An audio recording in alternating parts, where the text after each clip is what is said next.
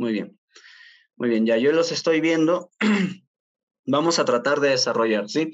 Les voy a explicar. Voy a, voy a explicarles un poco de teoría. Está, está por ver si utilizamos, aunque sea un segundo, el ETAPS para que vean un poco el nivel que se va a utilizar. Si no, no me gustaría sacrificar la parte teórica para poder avanzar y al final vamos a hacer un desarrollo a mano, quizás un poco a la volada, porque nos va a faltar tiempo. Va a ser un poco pesado para ustedes, les voy adelantando, porque ya estamos a la una de la tarde y empieza a hacer hambre, van a estar un poco cansados, tres horas es un poco pesado, pero vamos a hacer el intento de desarrollar esto de la mejor manera, chicos. ¿Ok? Ya saben cuál es el título de hoy, el taller que vamos a tomar. Por favor, ¿cuántos de ustedes son estudiantes universitarios? Por ahí, si me pueden dar el alcance. A ver, chicos, ¿cuántos de ustedes todavía están en la universidad? Dos, tres, cuatro, cinco, seis, siete, ocho, nueve, once, doce, trece, doce, quince, dieciséis, diecisiete, dieciocho, diecinueve. Ok, vamos a ponerle, wow, genial, genial, genial. Es un buen público estudiantes universitarios. Me parece que hay pues alrededor de unos 60. Muy bien, chicos, ¿cuántos de ustedes son egresados? Ya, ya terminaron la carrera. A ver, dos, tres, cuatro, cinco, cinco, seis, siete, siete. Siete egresados, ocho, poquititos, nueve, diez, once, doce, trece, catorce. Ya, le voy a meter un 20, ¿ya? Chicos, cuéntenme, ¿por qué están aquí los que son egresados? Curiosidad, no, no pudieron este, desarrollar bien algunas teorías. ¿Qué ha pasado?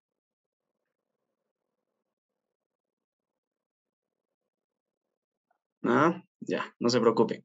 Cuénteme, ¿cuántos de ustedes son bachilleres? Fortalecer conocimiento. Sí, eso es muy bueno, siempre. A veces se, les olvida para fortalecer. Actualización, perfecto. Curiosidad, siempre, sí, recordar. Muy bien, ahí vamos un bachiller, dos, dos, tres, cuatro, cinco,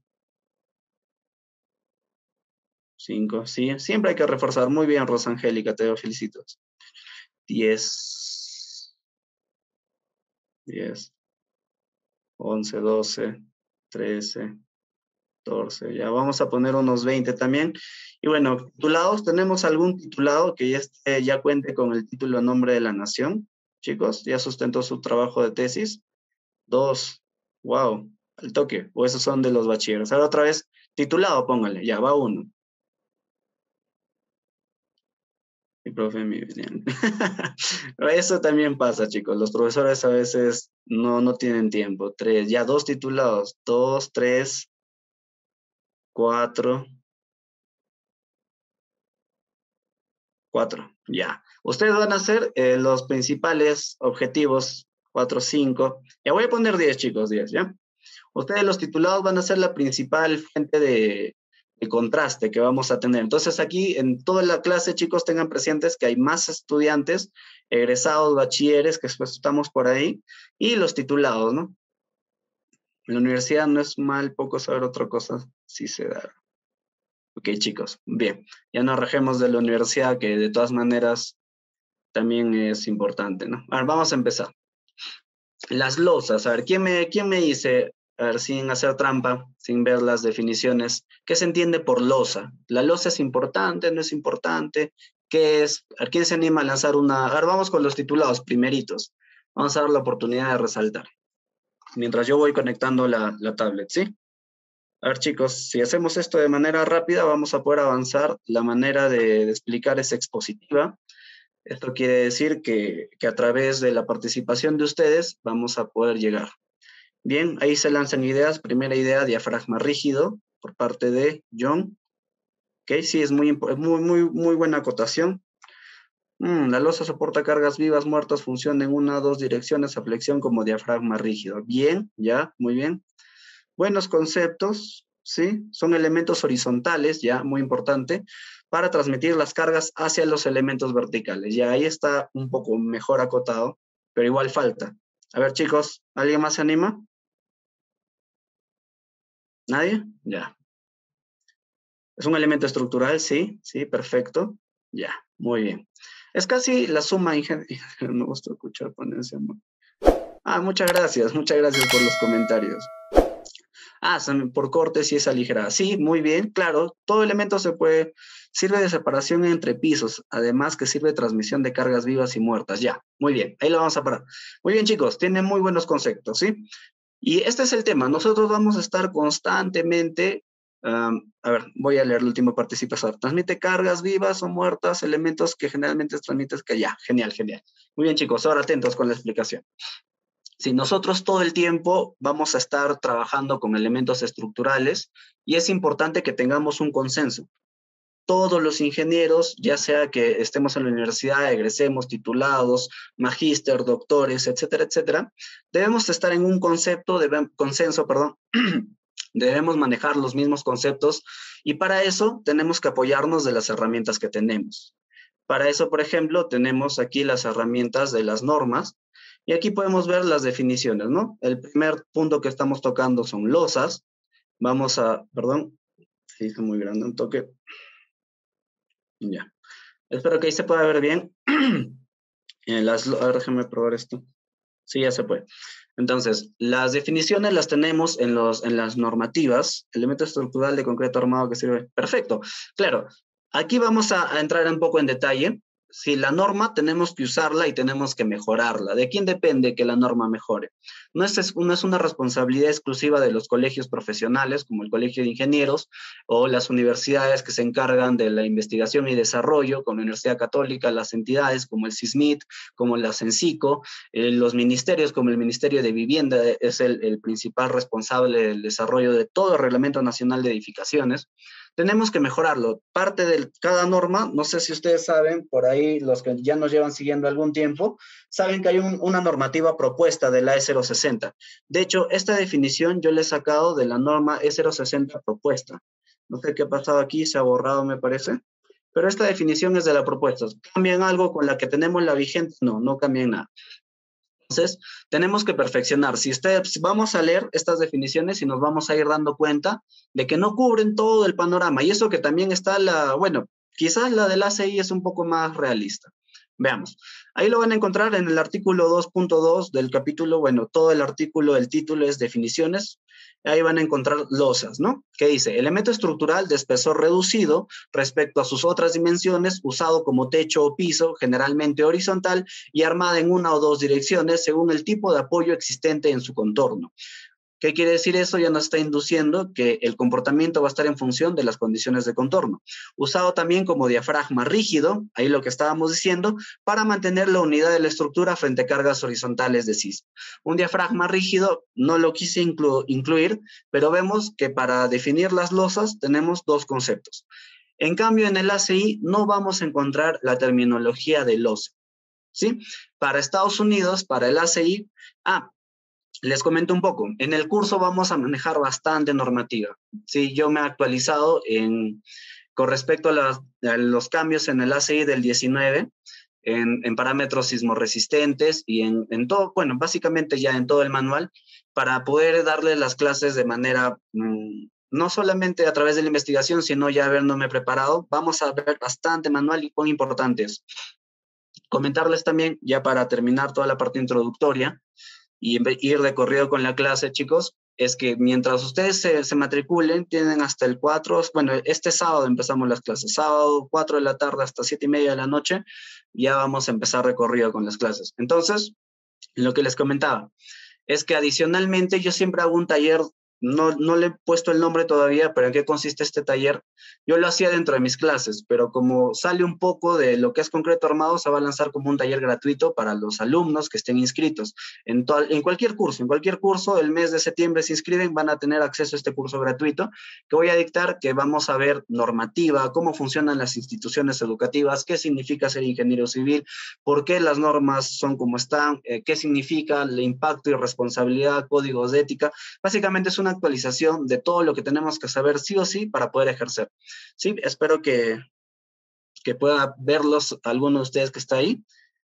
Muy bien, vamos ahora entonces. Eh, con respecto a CI, ¿qué es lo que nos dice que es un miembro, una losa de piso o cubierta? Y esto es importante que incluya las cubiertas, que transmite fuerzas que actúan en el plano del miembro hacia los elementos verticales, y ahí lo he puesto de negrita, del sistema de resistencia ante fuerzas sísmicas. Un diafragma, un diafragma estructural puede incluir cuerdas o colectores como parte del diagrama, del diafragma. No vamos a hablar de colectores y cuerdas porque es quizá un poco más elevado. Entonces, ahí hemos visto dos términos, ¿no? Cubiertas y los, y, y bueno, diafragmas rígidos. Entonces, aquí, en este elemento, alguien me puede decir, eh, bueno, en esta edificación que estamos viendo acá, alguien me puede decir cuál es una cubierta y cuál es una losa. Cualquiera, cualquiera. Mientras más rápido participen, vamos a poder avanzar. Y a través de la participación voy a poner. ¿La cúpula qué es? Ajá, pongan, la cúpula es una cubierta, muy bien. Ahí es algo muy importante. ¿Alguien más se anima? ¿Alguien más? Cúpula cubierta. Bueno, ya creo que esa era la, pregunta capciosa, ¿no? Y toda esta área de aquí ya serían las, las losas, ¿no? Aquí también quizás, quizás, si es que no está hueco, bueno, debe estar hueco para que la cúpula pueda absorber luz, ¿no? Es absurdo pensar que por ahí puede haber una losa. Tiene que absorber luz esta cúpula, justo por eso tiene ventanas en estas direcciones, para que pueda iluminar hacia abajo. Ingeniero, ¿por qué no vamos a los cálculos? Muy interesante. Sí, sí, sería genial, sería genial. Pero de todas maneras quiero darles a conocer un poco de todo, una probadita. Perfecto. No se preocupen, chicos. Vamos a calcular.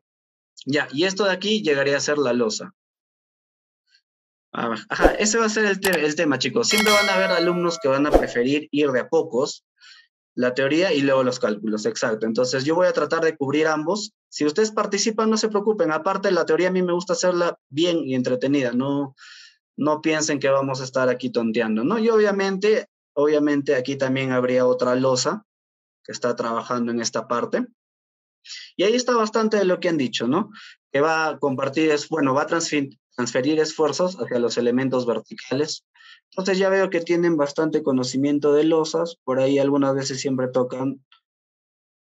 Ok, ah, hay un problema, listo. Bueno, este también era un 3D, quizás en una construcción un poco más y si las clases de este sábado nos enseñan vigas y columnas también, de hoy, de este sábado, durante el curso vamos a ver vigas, columnas, más que nada es desarrollar criterios.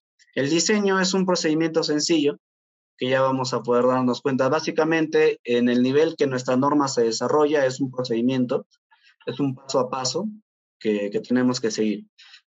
Ya, muchas gracias, Kevin.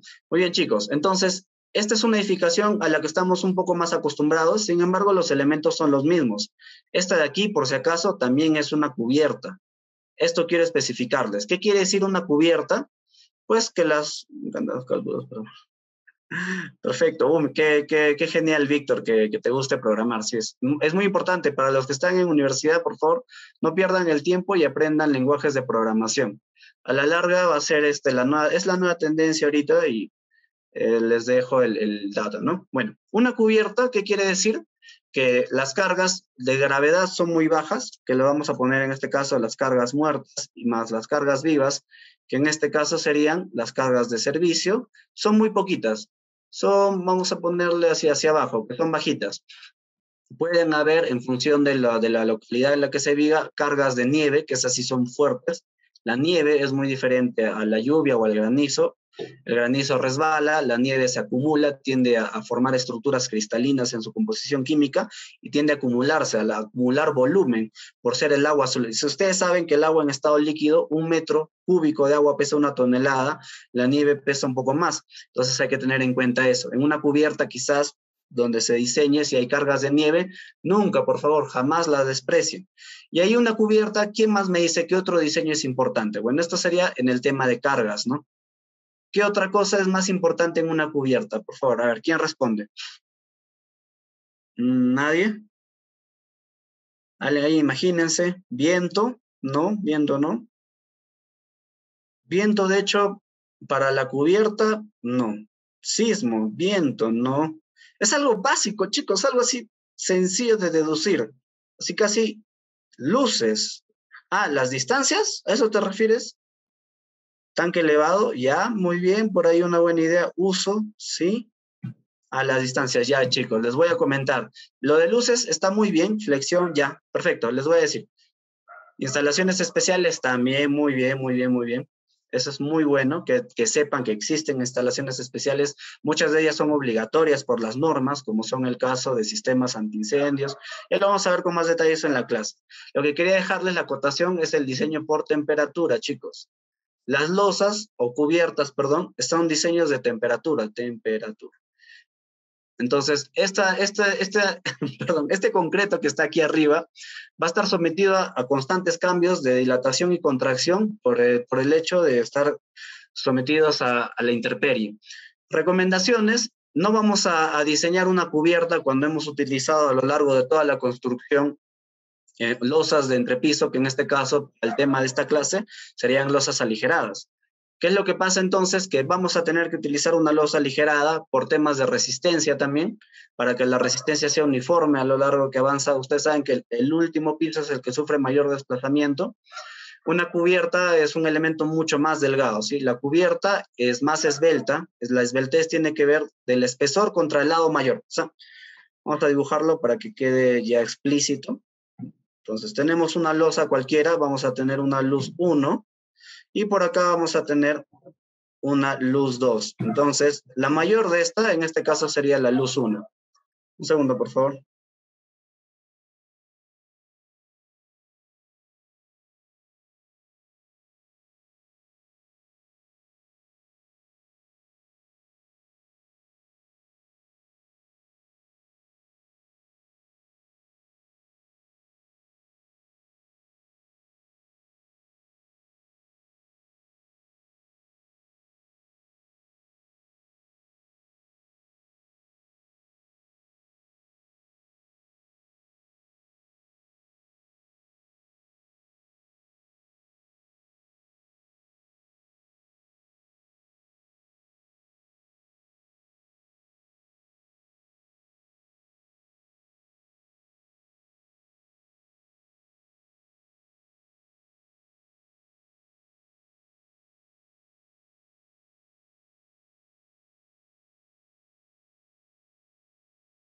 Ok, ahora sí me pueden escuchar. ¿Sí? Perfecto.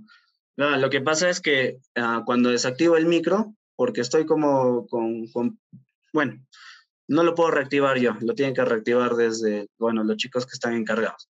Entonces, una cubierta es mucho más delgada y es más esbelta. ¿Qué quiere decir que es más esbelta? La luz mayor, en este caso sería la luz 1, es mayor que la luz 2.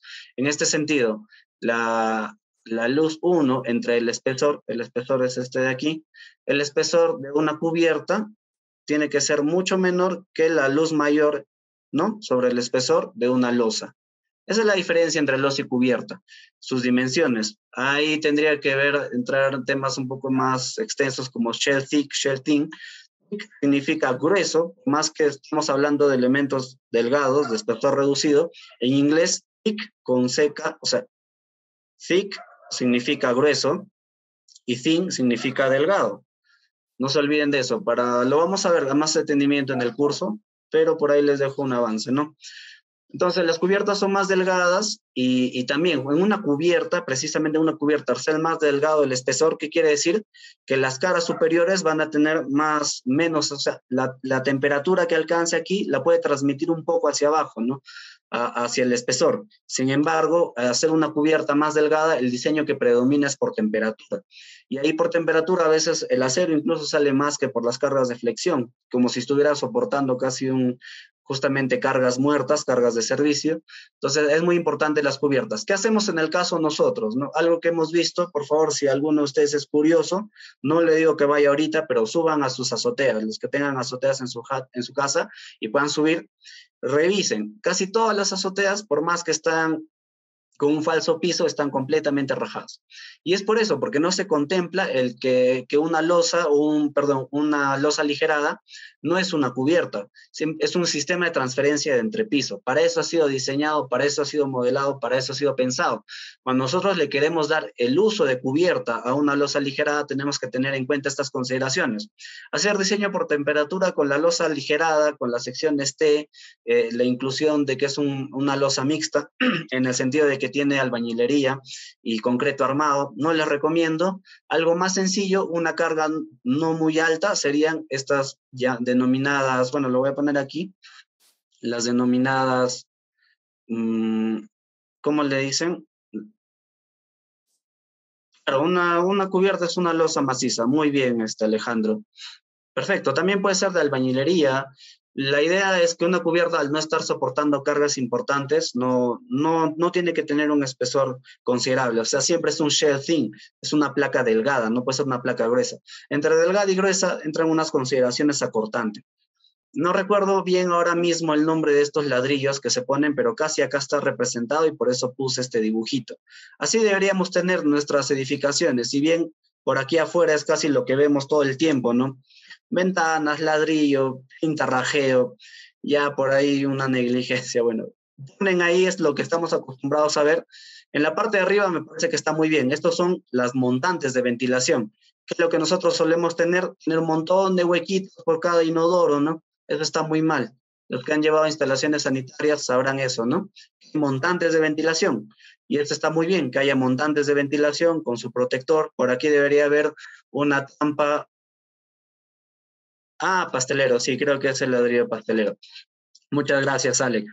Creo que sí, es un ladrillo muy delgado que sirve para, para nosotros poder utilizar la losa, la losa aligerada como un sistema de cubierta para que no esté rajándose, que a la larga siempre va a terminar agrietando todo el concreto. Y en el tiempo ustedes se van a dar cuenta que, por ejemplo, en zonas lluviosas, este agrietamiento más agua lo que va a hacer es que poco a poco va a ir abriendo más la grieta, la grieta. En este esfuerzo de fatiga que está haciendo el concreto por, por estar comprimiéndose y traccionándose, ladrillo, ladrillo es mejor, todo cerámico. A ver, chicos, los que están en, en la universidad todavía, ¿se acuerdan? Han llevado su curso de tecnología de materiales, ¿no? Ingeniería de materiales también le dicen ese curso. El cielo raso se ve afectado a las cargas, claro, a la larga por la lluvia. Entonces, una manera de poder nosotros proteger nuestros elementos es, es esa, ¿no? Poniéndole este ladrillo que su compañero ha identificado como pastelero, pero no recuerdo bien el nombre ahorita, se me fue de la cabeza. Muy bien, entonces aquí yo tenía pensado eh, que me puedan decir las funciones, pero perfecto, ya las conocen, entonces vamos a, a poder proseguir ya directamente con la explicación, hacer esa acotación. Las instalaciones especiales, la que dice su, su compañero también, era esto de aquí, sistemas de ventilación. ¿Hasta cuándo vamos a seguir construyendo sin considerar sistemas de ventilación? Impermeabilizarlos. Claro, lo que pasa es que un cerámico eh, resiste altas temperaturas sin deformarse. O sea, un cerámico cuando llega, por ejemplo, ¿Han visto estas ollas de barro, por ejemplo, alguna vez? Están ahí en contacto con el fuego y no se agrietan, no se rajan. Eso es lo que pasa. Entonces, este ladrillo pastelero hace eso. Es un, claro, un impermeabilizante, tiene razón. Una losa vigacero que utiliza casetones de tecnopor más anchos no sería más recomendable para azoteas. Por las cargas, sí. Al mismo tiempo, el concreto armado no va a funcionar bien. Vas a tener que armar muy bien tu losa y aún así se va a agrietar.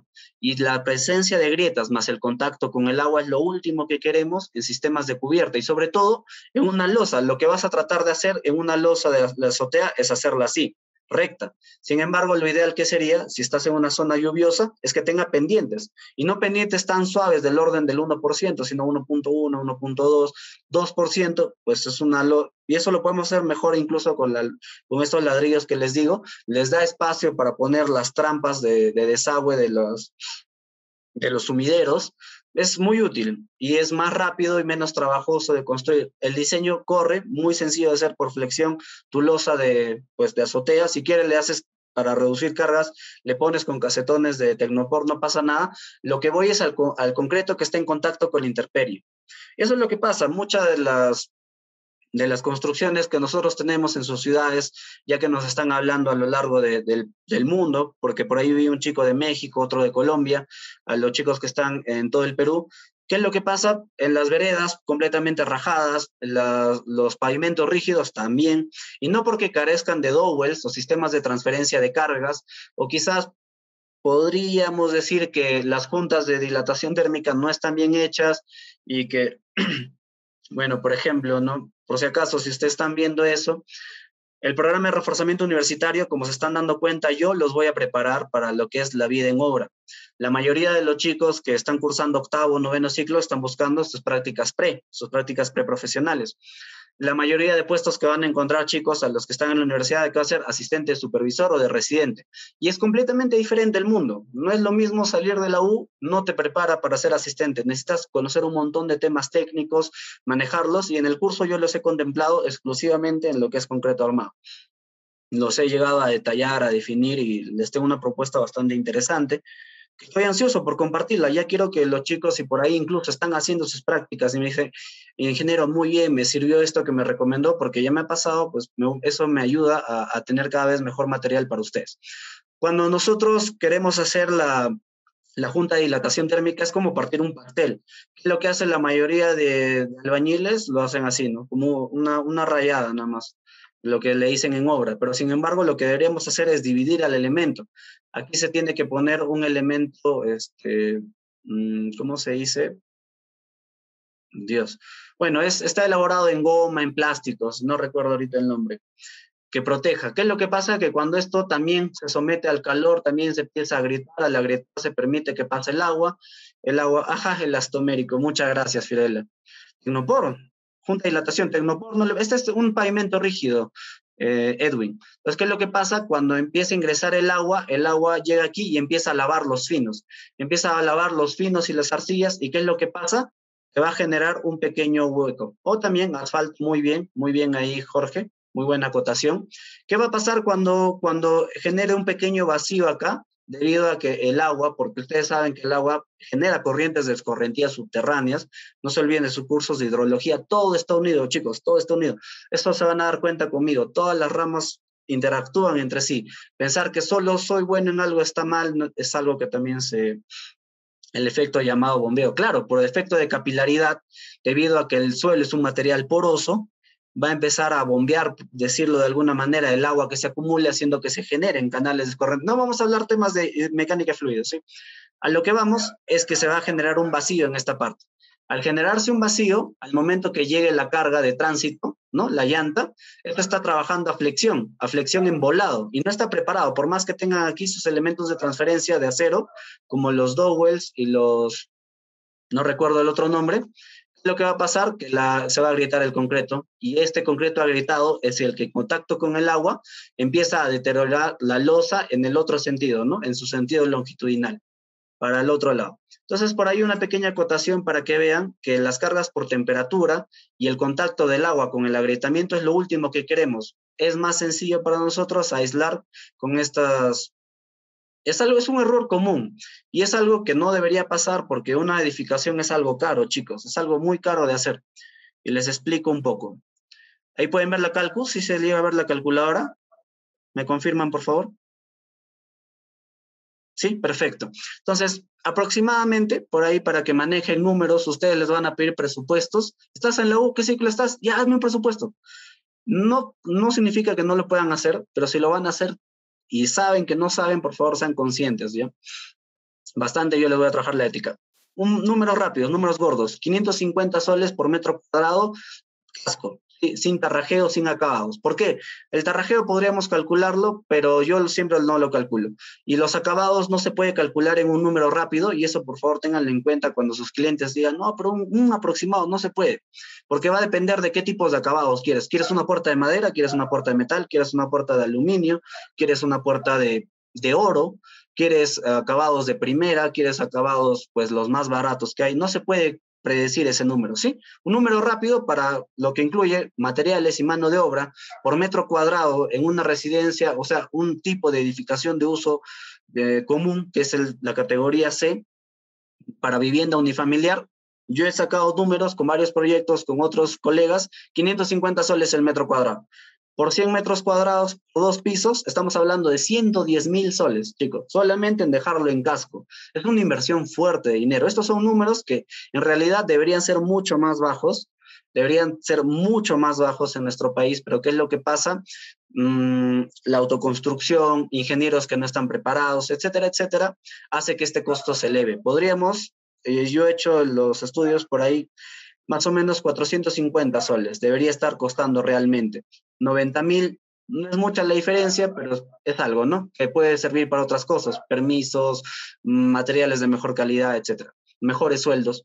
Entonces son 110 mil soles, chicos, que se van a gastar sí o sí las personas y su inversión va a representar poco nada porque no, no están trabajando bien las estructuras. Una cubierta que no esté considerándose es piso. Elvis, no te entiendo, esos 500 es por metro cuadrado de piso. Sí, por metro cuadrado por piso. No es por, por toda la altura. O sea, si yo tengo un edificio de 20 pisos, no me va a costar 550 el metro cuadrado, es por piso. Muy bien, chicos. Hay un poco para darles a entender lo que significa la ingeniería. Tenemos que prever todo esto y, ser bastante lúcidos y objetivos, sin acabados. Ajá, sin acabados, sin... Apúntenlo, tomen nota, no pasa nada. Eh, sin acabados, chicos, y sin tarrajeo. Sin tarrajeo, ¿sí? No se olviden. No está contemplado arena fina, cemento para tarrajeo, en ese, en ese ratio no está. No se puede contemplar acabados. Ya, sigamos. Entonces, como caso rústico, más allá del tipo del sistema que se utilice. No, estamos hablando de una edificación de concreto armado o albañilería. Albañilería es un poco más barata, Enrique, muy buena acotación. Me imagino que, bueno, ahí me gusta cuando la gente está despierta. Sí, necesito que estén ahí pensando. Vamos a avanzar con la clase, chicos. Sí, son, son interesantísimos esos temas. Entonces, eh, por si acaso, no se olviden, si, si bien siempre van a encontrar en los libros así, de esta manera, ¿no? No se toma consideraciones. Ya saben, por favor, la temperatura es un elemento muy importante considerar en las cubiertas. Mm. No, es que ese número está calculado de esta manera, mira. En el primer nivel, tú lo único que vacías es un falso piso, que construyes columnas, placas, muros de albañilería y tu techo.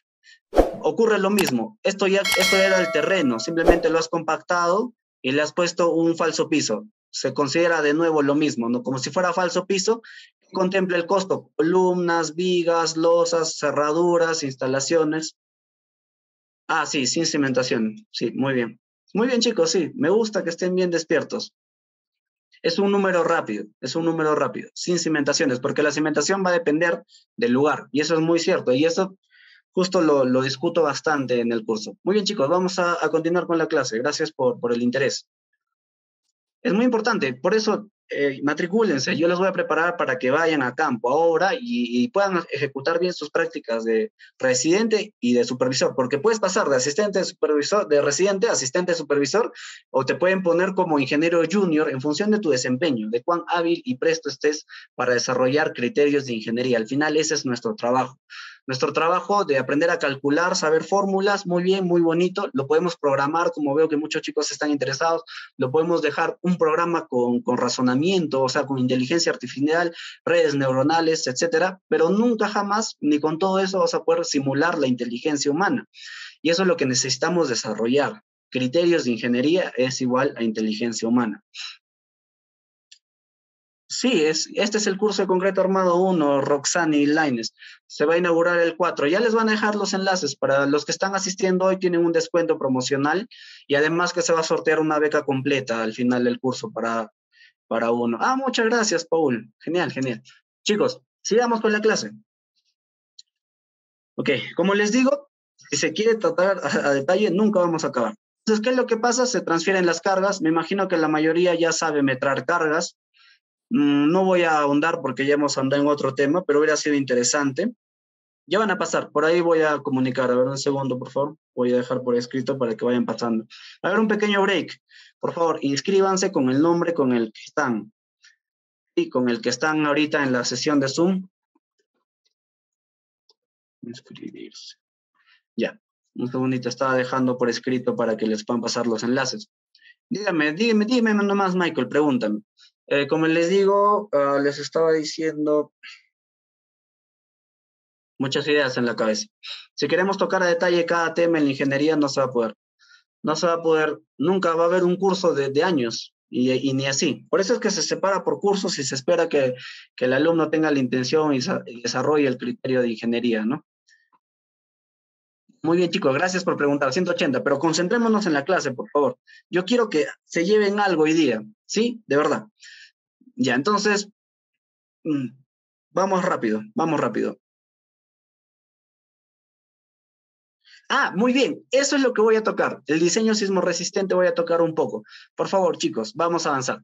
Ahorita voy a explicar y les pido la participación. Muchas gracias, de verdad, muchas gracias por participar. A mí eso me, me alegra el día. Me da muchas ganas de explicarles más cosas, pero tengo que terminar la clase de hoy. Muy bien, chicos, vamos.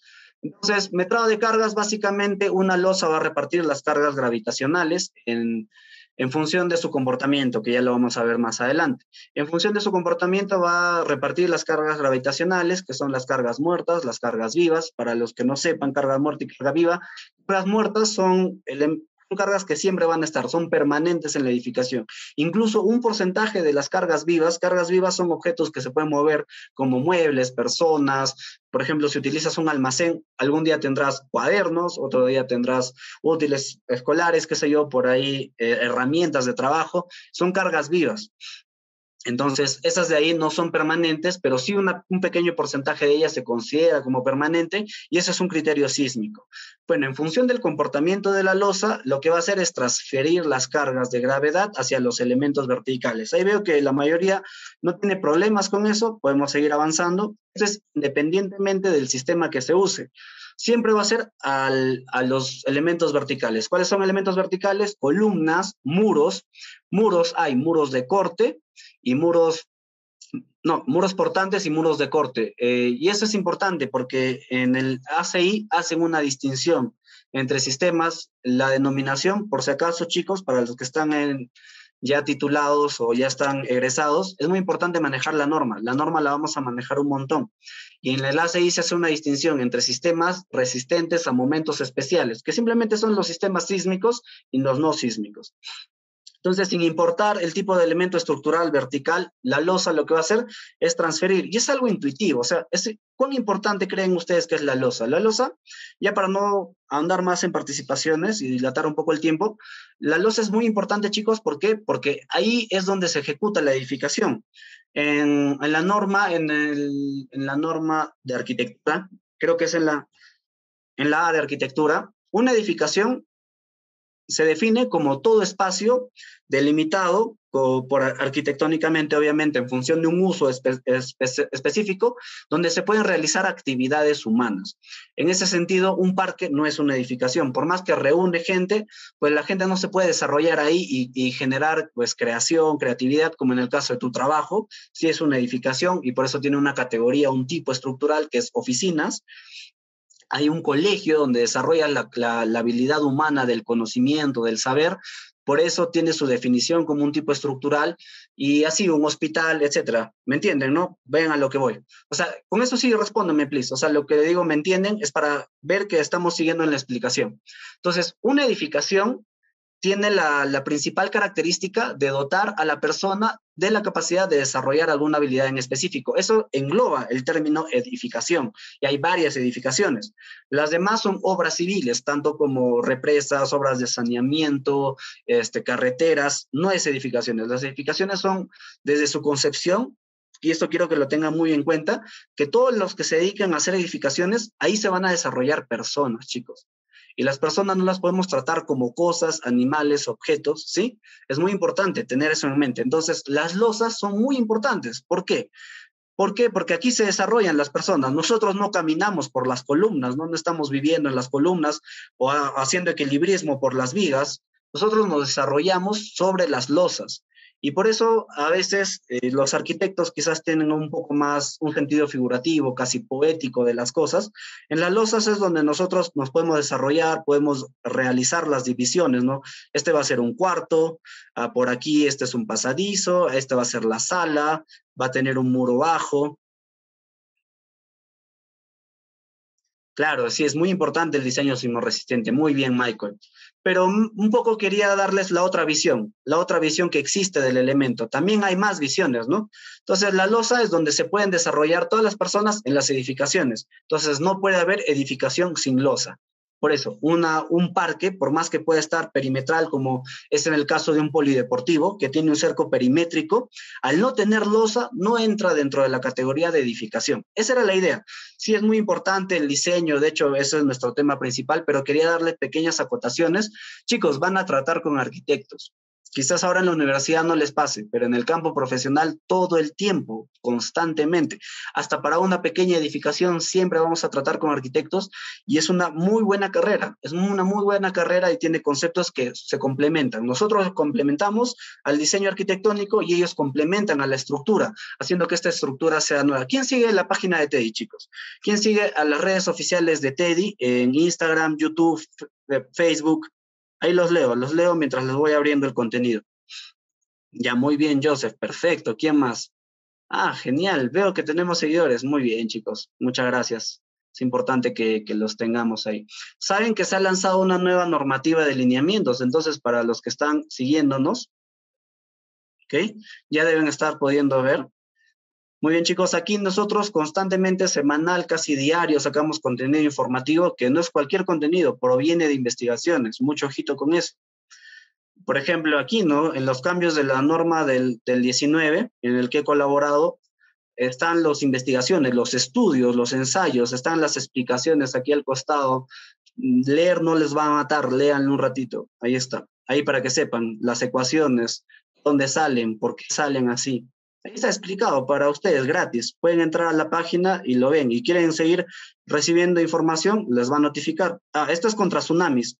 Aquí las losas, por ejemplo, les comento que para las edificaciones que viven en zonas costeras, para eventos de tsunami, se tienen que preparar ahora las edificaciones y va a haber unas cargas de gravedad. Hay unas cargas de gravedad por sumergimiento que van a estar afectando, que son cargas que no hemos considerado y generalmente esa es una de las principales fallas, porque van a someter a flectores más, las losas deben ser móviles en tsunami. No, no, no, no, wow. Buen tema, muy largo. Muchas gracias. Lo podemos hablar en el curso, quizás, si hay bastantes interesados, pero muy buen tema. La idea es que las, los elementos de transferencia, como en este caso las losas, son importantísimas. Y aquí en el contenido de la nueva norma de los lineamientos, eh, hay algo muy importante, chicos, que están aquí, las condiciones bioclimáticas. Si bien aquí este tema es debatible, porque a partir de que se ponga en vigencia esta norma el otro año, tenemos un año de prueba para que se capaciten. Yo estoy viendo, no se preocupen, quizás salga un curso de capacitación aquí en TEDI, sobre esta nueva norma. ¿Qué es lo que pasa? Que ahora es una exigencia arquitectónica. Bueno, lo que les decía, ¿no? Los sistemas de, saneamiento ahora tiene que haber una propuesta por parte del ingeniero sanitario y eléctrico obligatoria de, de, renovable. O sea que las aguas residuales de lavatorios, eh, sumideros, no recuerdo bien cuál otro, tienen que ser reutilizables, tiene que haber un sistema, como están viendo aquí en pantalla, aquí abajito, de, purificación de agua para que sirva para lo que es regado de, de, plantas de jardines privados. Y es obligatorio, o sea, entra en vigencia la norma, ya es obligatorio. Y sistemas alternativos de consumo de energía, como son en este caso los paneles solares, porque ahora nos han puesto un límite en función del uso de la edificación. Si es uso comercial, tiene un límite más grande. Con viviendas comunes, un límite más pequeño. ¿Un límite de qué? De metros cúbicos de agua y de kilowatts de energía. Muy importante, tenemos que estar preparados, tenemos que estar preparados.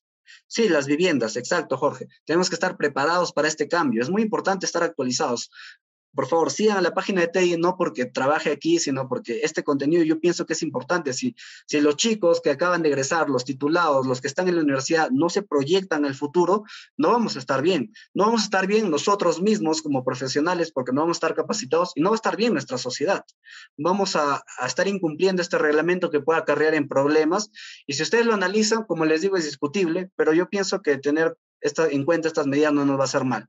A lo que voy con el diseño arquitectónico, es que ahora, ahora es una obligación, si bien yo he trabajado con arquitectos que sí lo saben hacer, porque desde el, a ver, tiene que ver, tener obligatorio un espacio verde, porque desde el punto hidráulico, sí, sí, pero para nosotros, en el tema de ingeniería civil, chicos, tener una estructura enterrada que pueda almacenar estos sistemas de, de potabilización de aguas residuales, ¿no? De planta de tratamiento a baja escala de aguas residuales, creo que se llama, ya no es PETAR, sino es un nombre más grande. ¿Cuál es la idea, chicos? Que nosotros vamos a tener que tener una estructura enterrada o colocarlo en algún lugar de la edificación y al tener una estructura enterrada, ¿qué se hace? Se hace un análisis sísmico de estructuras enterradas, que también necesitamos saberlo. Claro, se va a aumentar, se va a disparar el costo de la, de la losa. Sí, chicos, digamos. Entonces vamos con la losa, saben que se transfieren esfuerzos verticales. Y por ahí he visto muchos que me hablan de, de criterios sísmicos. Entonces, por ahí ya lo dijo un compañero. Ok, no, no, no, no, no, no, no, no, no, por favor, no. Ahora un segundo, por favor. Ya está, ahora sí.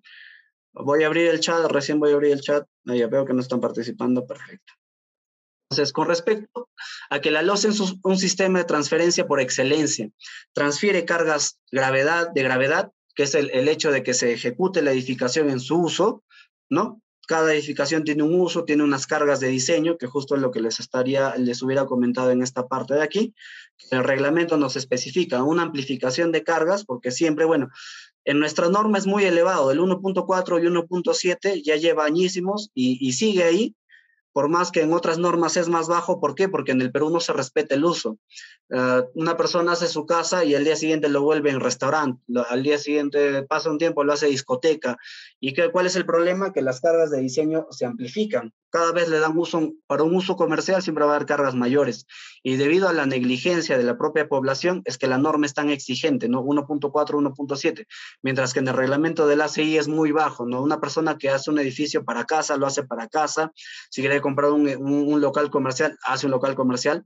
Entonces, en función de estas cargas de amplificadas en, eh, por el uso y los requerimientos normativos pertinentes, es que la losa está encargada de transferirlas a los elementos verticales que al final lo van a transmitir al terreno. Sin embargo, las losas también hacen transferencia de cargas sísmicas, y es lo que había dicho por ahí un... Claro, muy bien, Ángelo, Ángelo, muchas gracias por la acotación. Entonces, ¿qué es lo que pasa? Que nosotros vamos a tener las losas, también van a distribuir cargas sísmicas. Para los que no han llevado todavía sismo, esto será un tema nuevo. Señora losa es la misma para un edificio porticado. No. Mm, la losa aligerada se, es un elemento independiente hasta un punto de diseño y eso voy a hablar. Quédate, quédate para que puedas entender en el método de coeficientes. Entonces, aquí lo que les iba comentando, para los que no sepan de sismo, chicos, esto va para ustedes, es lo que había comentado ahí su compañero. Vamos a tener un centro geométrico en la losa, ¿sí? Aquí hay un centro geométrico en cada piso. Lo que se busca es que esté justamente coincidiendo con el centro de rigidez. En este caso, los elementos que aportan rigidez lateral, porque lo que va a evitar, o sea, en un momento sísmico, en un, en un, perdón, en una eventualidad sísmica, lo que va a pasar es que se va a deformar la estructura de esta manera, como están viendo que estoy dibujando. Entonces, la, la losa lo que va a hacer es transmitir estas deformaciones hacia, la, hacia los elementos verticales. ¿Por qué ocurre de esa manera? Porque miren el tamaño de la losa. Miren el tamaño de la losa. Yo les hago un experimento mental. Imagínense que tienen una mesa y en esa mesa pongan una mochila y muevan la mesa. ¿Qué es lo que pasa con la mochila? Respondan, chicos, respondan. Los leo. Esto es para los que están en la universidad, los que todavía no han llevado sismo, obviamente los egresados, sino se cae la mochila. No, es, un movimiento ligero, es un movimiento ligerito, es, es, apenas, apenas lo estoy moviendo así. Miren, miren el movimiento de mis manos, apenas lo estoy moviendo así. Vibra, ¿ya? Muy bien, Clayton. Empieza a oscilar la mochila. Ahora imagínense que pongo 30 libros así apilados no, no, solamente hasta columnas, porque es concreto armado 1 y se va a tratar de llegar, no se aloquen por aprender a diseñar elementos. En concreto armado, chicos, no se, no se diseñan elementos, se diseñan secciones. En el análisis estructural, nosotros definimos columnas, vigas, losas, etc. Sin embargo, ¿qué hacemos? Ajá, muchas gracias, che. Ahí así tienes que estar registrado. Si quieres ganar la beca, cuando registras en el formulario tienes que poner el nombre con el que estás, che y ya después trataremos de ponernos en contacto con los datos que dejes. Si estás con otro nombre, no vas a poder ganar la beca. Ya van a pasarlo el link, no se preocupen. Entonces, nosotros en concreto armado diseñamos secciones, incluso en el método de capacidad, en cualquier método se analizan y se diseñan secciones de concreto. Si en un elemento van a haber diferentes secciones, por eso hacemos varios análisis para un solo elemento, que en este caso en la columna es así, tupidito el, el diseño. Pero no se aloquen. El curso de concreto armado 1 es por eso, para que tengan la base suficiente y luego puedan exponerse a retos más grandes como muros de corte, muros colaborantes, etcétera, etcétera, etcétera. Elementos más complejos, vigas estampidoras, muros de corte de 3 metros, perdón, este, vigas de peralte de tres metros, elementos complejos que nacen del entendimiento de cosas sencillas. ¿Sí? No se aloquen, chicos. Entonces, vamos a tener aquí el elemento estructural. Entonces, a lo que iba, la losa tiene mucha más masa. La masa de la losa es mucho, mucho más grande que la masa pues, que puedan acumular la sumatoria de columnas y vigas. La, la, masa de la losa es, es, grande y además que la losa es la que recibe las cargas, ¿qué es lo que va a pasar? Que las mayores fuerzas de inercia las va a recibir la losa. Entonces, en el ejemplo que les hacía de una pequeña mesa donde pongo poco peso, pues se va a generar y se va a poder sujetar por fricción. Ahora, yo tengo una carga axial importante en esta mesa en la que estoy poniendo muchos libros, voy a poner muchos libros, una pila inmensa de libros, y lo muevo a esta misma velocidad. ¿Qué es lo que va a pasar con los libros? Se van a mover así van a empezar así y, van a incrementar, van a incrementar su movimiento, van a empezar así y luego van a empezar a moverse cada vez más y luego van a hacer esto. Yo no voy a cambiar la velocidad, yo no voy a cambiar la velocidad, eh, la frecuencia con la que estoy haciendo, la velocidad y frecuencia con la que estoy haciendo el movimiento. Háganlo, háganlo, es un ejercicio sencillo y les ayuda a tener mucho criterio. ¿Qué es lo que va a pasar? La carga axial y el hecho de tener masa acumula energías de inercia. Por eso es que las losas son elementos de transferencia. Al momento que yo mueva la estructura, en este caso el sismo es el movimiento que estamos haciendo, está en el terreno, el terreno es el que va a vibrar, el que se va a mover. Lo que se va a mover son las losas. Las losas son las que se van a mover. ¿Por qué? Porque tienen mayor masa. Ustedes saben que fuerza es igual a masa por aceleración. Entonces, la aceleración de la gravedad es constante, ¿ok? No pasa nada, pero la masa es mucho mayor. Entonces, al aumentar la masa, la fuerza aumenta y eso es lo que genera los movimientos sísmicos. Y aquí un poco, ¿no? Para que puedan verlo a detenimiento. Aquí está el peso de cada piso. Hay una acotación, ¿no? Siempre es mejor calcular, quizás, no, no va a ser tan exacto como en los softwares, pero yo siempre prefiero el cálculo manual a los cálculos en computadora. O manual en el sentido que lo podemos hacer en el Excel, pero parte de mi razonamiento. Yo he puesto las fórmulas ahí. No simplemente he copiado una plantilla y pongo datos y espero que ahí esté lo que estoy entendiendo. Ah, en, sismo les voy a explicar, eh, o sea, en el capítulo de diseño de vigas sismoresistentes, les voy a explicar a detalle el fenómeno de la rotulación, qué significa, por qué necesitamos que exista la rotulación y todo ello. Entonces, continuando, aquí tenemos a los pesos que son grandes porque es el peso propio de la losa que es mucho mayor que el de las columnas y el de las vigas, el peso de las cargas que recibe. Entonces, las fuerzas de inercia van a ser mucho mayores. ¿Qué quiere decir una fuerza de inercia? Como fuerza es igual a masa por aceleración. Al momento que hay un, una, un movimiento sísmico, esa es justamente la fuerza de inercia. Bueno, quería entrar un poco a lo que es equilibrio dinámico, pero creo que hasta ahí se entiende, ¿no? Hasta ahí se entiende que las losas son elementos de transferencia que van a este, distribuir las cargas tanto de gravedad, o sea, perpendiculares a su plano y paralelos a su plano en el tema de sismos. Entonces, para los que saben, por generalmente, ¿cuánto debería pesar una sección de losa por metro cuadrado? Todo el... Mm, bueno, ahí va a depender. Nosotros sabemos que si tenemos una losa aligerada, un segundo, un segundo, eso lo tengo directamente acá me gusta que estés atento y por eso lo voy a poner aquí. Ahí está. Si es una losa aligerada, ajá, muy bien Michael, pero para responderle a, Raúl, mira Raúl, te comento, depende del peralte, ¿sí? Allá, Alejandro era, perdón. Ahí tenemos, estos pesos nos da la norma, no te preocupes. Incluso te da el peso específico del concreto armado y el concreto sin armar. La norma es 0,20 de cargas. ¿Para qué? Para que tú puedas meter Ah, si no hay un elemento definido o estás creando un elemento, qué sé yo, por, alguna necesidad estructural que tengas que suplir, eh, la norma te da pesos específicos, que es la unidad de, masa de peso sobre volumen, y ahí puedes pues simplemente a través del álgebra calcular cuánto pesa un elemento, que es justamente el metrado de cargas. Va a haber un apartado de metrado de cargas y lo voy a hacer acá para que tengan bastante criterio.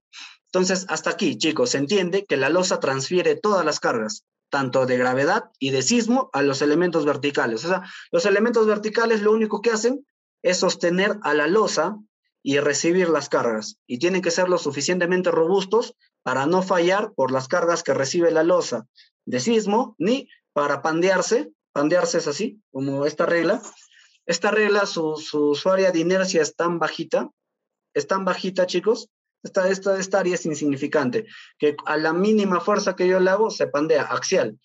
Entonces, un poco para que entiendan. ¿Se entiende eso, chicos? Que la, la losa transfiere absolutamente todas las cargas de la edificación al terreno.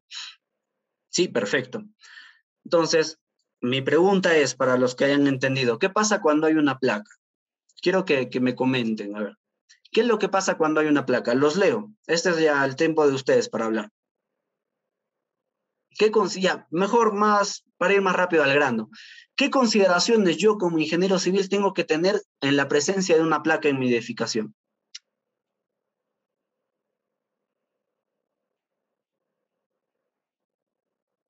Rigidez, que tenga, brinda soporte lateral, ya. Muy bien, rigidez lateral no se discute. Lo que yo quiero saber es con respecto a la losa. La losa transfiere cargas. Ya les dije la respuesta. Absorberá menores desplazamientos con respecto a la losa y a la placa. Quiero que me den una acotación interesante. La losa va a absorber mayor carga por el hecho de que esté la placa. Interesante. Mayor soporte. A ver, ¿qué va a pasar con la losa por el hecho de que exista una placa? Ya genera torsión, distribución de masas. Lo están llevando mucho al aspecto técnico. Eso es a lo que, a lo que me refiero piensen un poco fuera de la caja, ¿no? Outside the box, como dicen en Estados Unidos. No, chicos, algo bien básico.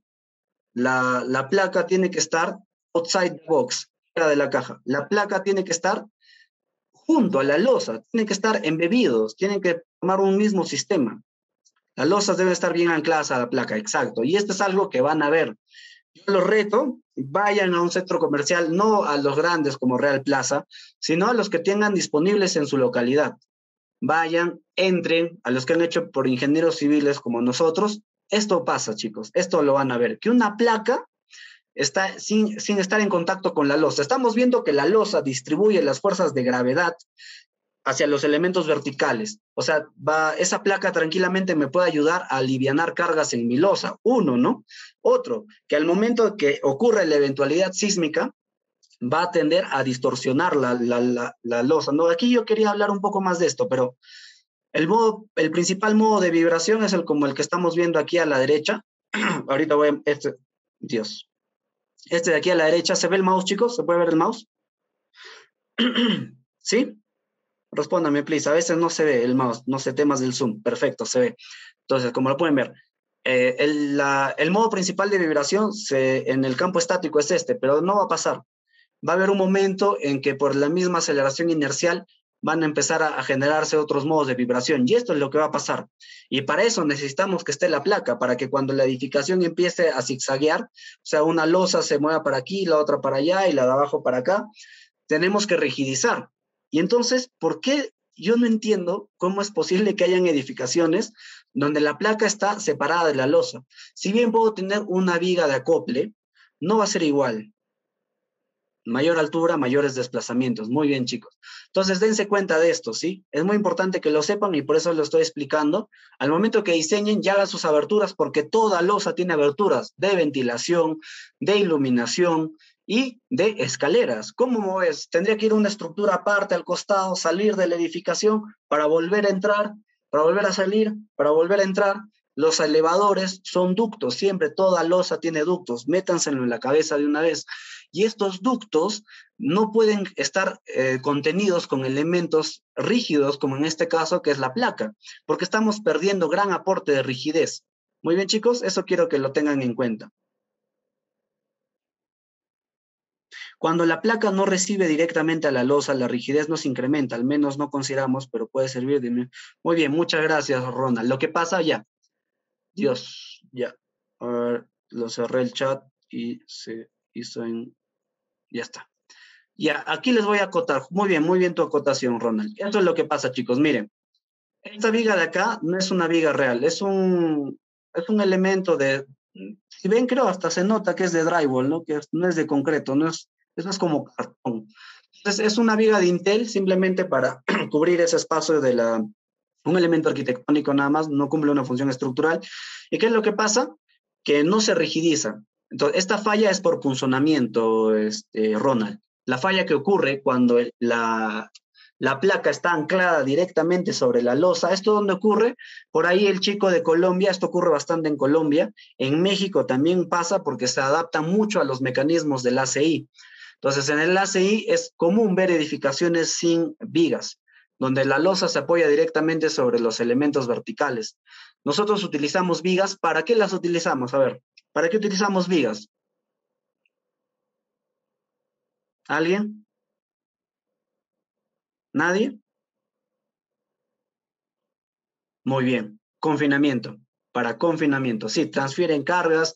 Desde el mismo hecho de que están entre la losa y la columna, van a transferir cargas. Sin embargo, el principal uso que nosotros le damos a las vigas es de confinamiento. Este es un, este es un conjunto de vigas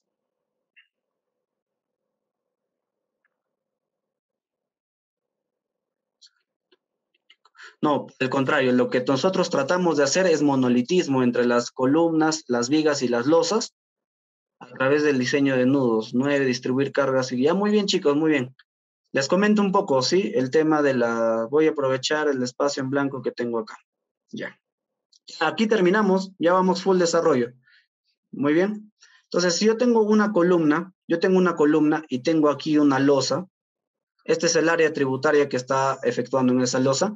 Si las cargas, hay una carga concentrada aquí, ¿qué es lo que va a pasar? La losa de lo que estaba aquí va a pandearse así, ¿sí o no? En cambio, si por ejemplo, por más que la, distribución ideal sería vigas así en diagonal, pero yo hago este sistema de vigas de esta manera, en forma de cruz, si yo quiero generar esta misma puntual P, que me genere esa deformada, ya no va a poder generar esa deformada porque las vigas estas están rigidizando. No sé si me dejo entender ahí. ¿Lo entienden chicos de esta manera? Aquí no me importa si la losa es unidireccional, bidireccional. Vamos a suponer, caso que no suceda, ajá, muy bien, deben utilizarse abacos. Creo que las vigas simulan ese efecto, están confinando esta zona de la losa. ¿Sí? Si es que no se entendía o no lo pudieron, pudieron deducir, deducir, es esta parte de acá. Lo que hace la, la viga, en este caso, es confinar esta área de losa, la vuelve extremadamente rígida. Entonces, lo que nosotros hacemos con la, con las vigas peraltadas, básicamente es confinar.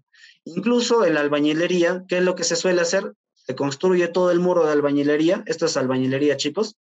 Aquí también está lo muy separado, perdón. Aquí está el otro muro de albañilería. Y el concreto lo vacían en las columnas hasta una altura, no me acuerdo el, el, número, pero es hasta acá. ¿Para qué? Para que al momento de que vacíen las losas junto con las vigas, estas puedan confinar. A esto le llaman viga collar. En el concreto armado lo que nosotros hacemos a todo el perímetro, a todo el perímetro, si tu losa, digamos, tiene una abertura acá y por acá también tiene una abertura, esta abertura no, pero sí a todo el perímetro le ponemos un elemento de borde que le dicen viga collarín en el concreto armado. Aquí en la albañilería le dicen viga collar. ¿Cuál es el objetivo? Rigidizar, o sea, un elemento de viga, más que sea del mismo peralte, chicos, es del mismo peralte de, la losa y tiene un espesor, digamos, ridículo de 15 centímetros, ¿ya? Este, esta viga, que esté, el hecho de que esté alrededor del perímetro de toda la losa, la confina muy bien y hace que su comportamiento sea, eh, reduce los esfuerzos de torsión. En, no recuerdo bien el nombre, pero en edificaciones de acero también hay estas vigas. A ver si alguien por ahí evita el punzonamiento. Muy bien, Pedro. Ajá, te has dado cuenta. Muy bien, el criterio de Pedro es muy bueno, chicos. Claro, la, la viga tiene que, que hacer unificar la estructura. Estamos, está unificada.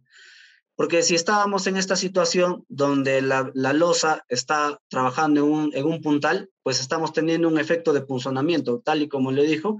Y como les dije también, por más que es una placa, el hecho de que esté apoyada directamente sobre la placa también genera un efecto de punzonamiento. Para evitar este efecto de punzonamiento, ponemos las vigas y de esa manera lo reducimos. Concreto resiste muy bien la compresión, no resiste el punzonamiento. El concreto por sí solo no resiste bien el funcionamiento, más que sea por compresión. Compresión es aplicado en un área. Hay un área que lo distribuye, en cambio el funcionamiento no. Y esto es lo que tienen que tener en cuenta, chicos. Por más que, que ustedes ya, yo he puesto mi placa junto a la losa, tengo que poner, o sea, ¿qué es, ¿cuál es lo común? Hay una placa y aquí hay una viga, ¿no? Esta es la losa. Esta es la losa y esta es la placa. Y entre la placa y la losa yo voy a poner una viga que sería mi dedo.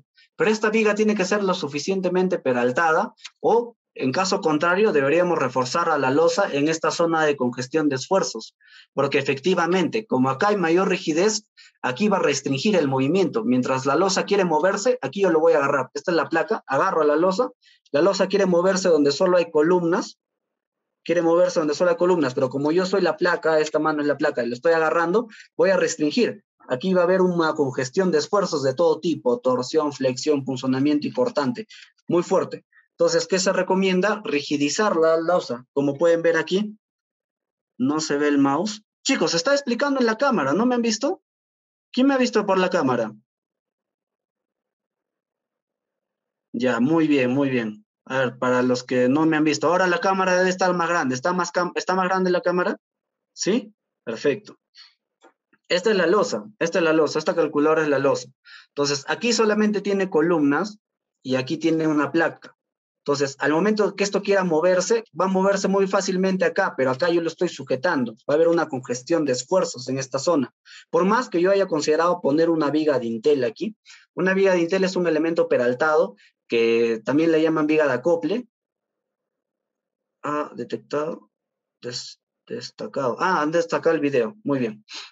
Muy bien, Ángelo. No te, Ángelo, no te preocupes, estoy explicando. Entonces, esta viga de acople esta viga de acople eh, está diseñada de una manera especial en puntal extensor. Ya, no importa eso.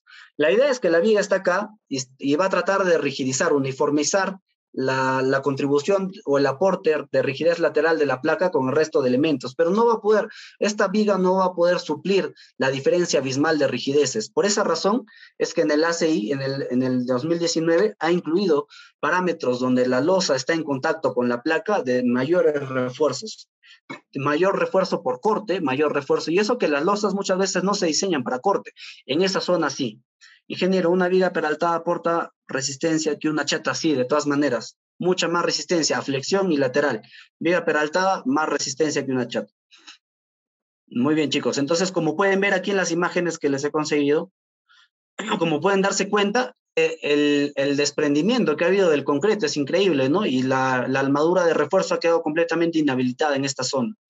Y esta zona, pues no, no he conseguido la... Estaba anclada una placa. Todo esto de aquí es una placa. Todo esto de acá. ¿Ven el mouse? Todo esto es una placa. Que va a ser más pequeña la cámara porque no me deja ver la pantalla. Listo. Muy bien. Esto es algo importante de lo que no se habla. ¿Cuántos de ustedes sabían estos criterios de tener la placa anclada a la losa para que funcione la placa? Porque la losa es la que se encarga de distribuir todo. Hoy día ya han aprendido eso. La placa, la placa, la losa es la encargada de distribuir de gravedad y de sismo las cargas a todos los elementos verticales y para eso tiene que estar anclada a los elementos verticales. Muy bien, chicos, espero que les haya servido esa acotación. Ahora vamos a empezar a la parte directamente de diseño. Nos queda una hora. Yo quería explicarles un poco Claro, ese es el tema, no explican de esa manera. Yo les entiendo porque en obra, en obra tienes que hacerlo, no, no es que no me enseñaron, mi profesor no me dijo, mi profe no venía, tienes que hacerlo y tienes que amanecerte leyendo y no puedes quedar mal porque detrás de ti hay como 15 patas que quieren el puesto de asistente. ¿Cómo reforzamos esa zona en cuanto a la... No, ya son criterios, hay espaciamiento, confinamiento por torsión, tienes que ver más ecuaciones, pero gracias por el interés, Kevin. Ahí ya, ya lo vamos a ver en el tema del curso, lo, lo he tocado, pero tampoco a tanta profundidad, porque es un tema en realidad de especialidad, pero quiero que sepan, quiero que, vaya, que terminen el curso sabiendo lo que les va a seguir. Por eso el planteamiento del programa de reforzamiento universitario es ese, que cuando ustedes culminen el curso, sepan inmediatamente, ya a mí me gustan estructuras, me quiero especializar y esto es lo que, hasta aquí ya sé, inmediatamente al día siguiente del curso yo puedo entrar al curso de especialidad y estar tranquilo. Yo quería, tenía preparado para aquí desarrollarles una, unas demostraciones de cuáles son las inercias efectivas, por qué modelamos con el, momento curvatura, donde se genera el eje neutro a través de las tensiones normales, hacer una pequeña acotación de, de, los, las tensiones de von Mises. No sé si conocen las tensiones de von Mises, por ahí alguien, quizás lo de los egresados, los titulados, Chicos, a ver, participen. Las tensiones de von Mises. Perfecto. Muy bien, me alegra. A mí me, da alegría que, haya gente que lo sepa. Bueno, entonces, en cuanto a idealización, chicos, nosotros estamos acostumbrados a idealizar elementos como líneas. Entonces, ahí vamos a tener un problema con las placas, con las placas, con las losas.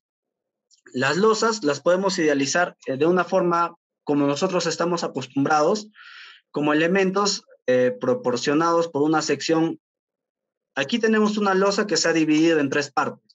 Cada una de estas partes ha sido modelada por una barra. Esta barra está ah, añadiendo está añadiendo eh, la influencia de esta parte de aquí. De aquí hasta acá, que sería esta longitud, que le vamos a poner longitud en X tercios. No, perdón, en Y sería. Longitud en Y tercios, lo voy a hacer mejor. Entonces, esta longitud de Y tercios, esta es una sección que tiene un peralte, una longitud, y, y como es constante en este sentido, esta es la sección que es constante, ¿no? Eso también a veces para modelar es todo un tema, ¿no? Es buscar cuál es la más conveniente. Si vas a modelar por tipo línea, a veces modelar es un arte. ¿Qué línea es la que me, me, me, me representa mejor la estructura o el elemento y en el cual voy a tener mejor información porque es constante. Entonces, en este sentido, esta sección que he delimitado con esta altura de, de losa, es la que permanece constante en esta dirección, avanza en este sentido. O sea, la, esa sección, en cualquier punto que yo corto esa barra que he generado, voy a encontrar esa sección. A eso voy. Entonces, esto lo que he generado es un, un emparrillado. ¿Es fácil calcular un emparrillado? No mucho. ¿Quiénes de ustedes ha llevado análisis matricial? No en todas las universidades lo ven el análisis matricial.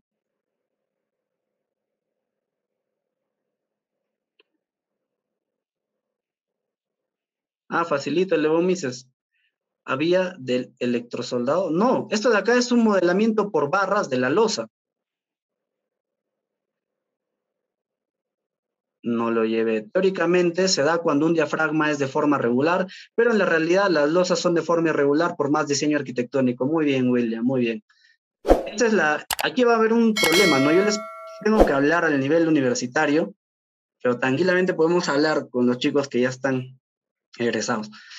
Bueno, la idea, a los que no me han entendido, es que nosotros, por eso quería ir desde el inicio.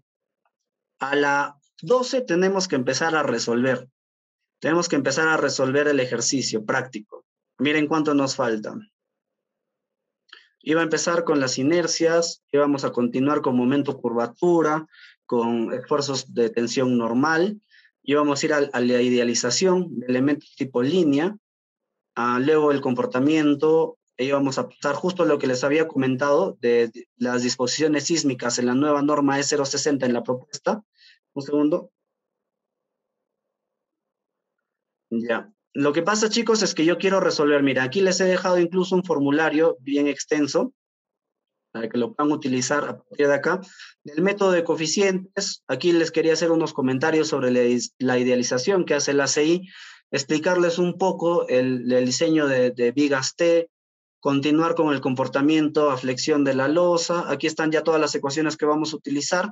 Aquí los ábacos, estos son los que pueden encontrar en el libro del ingeniero Tassi, estos son los ábacos que yo los utilizo porque me los facilitaron en la universidad. Es una adaptación de un chico que se tituló en mi universidad, el ingeniero Flavio Urbina, si no me equivoco. Aquí era el break, que ahorita vamos a entrar al break a las 12, y luego vamos a desarrollar esta losa, ¿no? En el que era criterio ustedes, si querían, esto, estos de acá iban a ser placas de concreto armado, podrían ser muros de albañilería. En cuanto a las líneas de influencia, ah, ya, corre, sí, se han quedado ahí con, la, con la espinilla, ¿no? De las parrillas. No, las parrillas, chicos, es una manera de sintetizar a la losa, ¿ya? Ustedes saben, ¿no? que cuando ya vamos a empezar voy a tratar de hacerlo rápido. La fórmula cotidiana que ya acá voy a necesitar su participación y su, su atención para poder desarrollar esto de una manera llevadera. Tenemos 20 minutos, vamos. Entonces, la inercia que nosotros conocemos, sí, líneas de influencia es cuando tenemos cargas móviles y nos interesa saber las zonas de mayor esfuerzo en nuestro elemento. Muchas veces se tiende a pensar que en el medio es donde ocurre la mayor flexión. Las líneas de influencia justamente quiere ver eso, en función de una carga movible, cuán, cuán influyente es a lo largo del eje. Y justo para eso tienen que entender la modelización. Para entender la modelización de tipo barra, que es la que vamos a utilizar siempre como ingenieros, tiene que partir desde esta parte, desde la parte más, más básica. Entonces, vamos chicos, participen, dejemos las líneas de influencia, les voy a explicar para llegar a esto. Y si queremos llegar a esto, tienen que seguirme con la explicación. La fórmula básica, la de toda la vida, la inercia, la inercia en X es igual la base por la altura al cubo sobre 12, ¿en función de cuál está? ¿Del área roja o del área azul? ¿Quién me dice? Voy a mejorar mi letra. A ver, ¿quién me dice? ¿Quién responde? Creo que los que están en segundo ciclo, por ahí vi, ellos deben estar más fresquitos en este tema. La base por la altura al cubo sobre 12. La roja. ¿Estás seguro? La azul. Pero ¿por qué cambian? ¿Por qué cambian? Si ya, si ya dijeron la roja, es la roja. Dijeron la azul, es la azul. No se vale cambiar. No, ya no cuenta ya. ¿Y a quién me dice por qué es la roja y por qué es la azul? A ver. A ver. qué chévere, me gusta. Me gusta cuando la clase, depende de la dirección. Claro, pero aquí ya le he puesto, acá estoy especificando. La información que necesitas para resolver la pregunta está en pantalla. La inercia en X es igual a la base por la altura del cubo sobre 12. Esta inercia es en función del azul o de la roja. Ah, por ser menor la azul. qué chévere, qué chévere. Ya hay varios que han acertado. Espero que lo hayan hecho conscientemente y no a la... Ya, la roja porque tiene que ser perpendicular. Ya, muy bien chicos. Miren, estos ya, voy a explicar, voy a explicar, voy a explicar. En inglés, en inglés esto se llama cross section. Nosotros, a lo que vulgarmente decimos sección transversal, ¿sí? Sección transversal, ese es en el español. En el inglés se llama cross section. No vas a encontrar nunca sección transversal. A ver, vamos a ver, creo que, creo que ya lo han actualizado en el Google, pero cuando di las primeras clases no estaba, no lo pueden ver ahorita.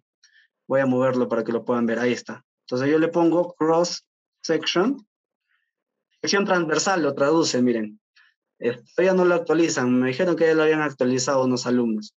Entonces, ¿qué es lo que pasa? Que está mal el término sección transversal. ¿Por qué está mal? Porque la cross section, el término cross section te da una mejor lucidez de lo que está pasando en cualquier sección de cualquier elemento. Es la sección cruz. ¿Qué quiere decir la sección cruz? Hay un eje Y y que hay un eje X propio, propio del elemento, propio de la sección. Y y X. Entonces, como hay una sección propia, aquí la pueden ver, aquí está el eje Y, el eje X. Entonces, un poco indagar en la literatura en inglés, ya han empezado los estudios, nosotros nos actualizamos en función de los estudios de ellos, y ellos tienen una línea, hay universidades de cientos de años, Oxford, Harvard, em, todas esas universidades antiguísimas, a donde ha estudiado Newton, donde ha, estudiado Einstein, ha dado clases Einstein, porque Einstein es alemán y estudiado en Alemania. Entonces, estas universidades han recibido pues a los científicos que han hecho las teorías con las que nosotros hemos traducido y mucho para quienes ven,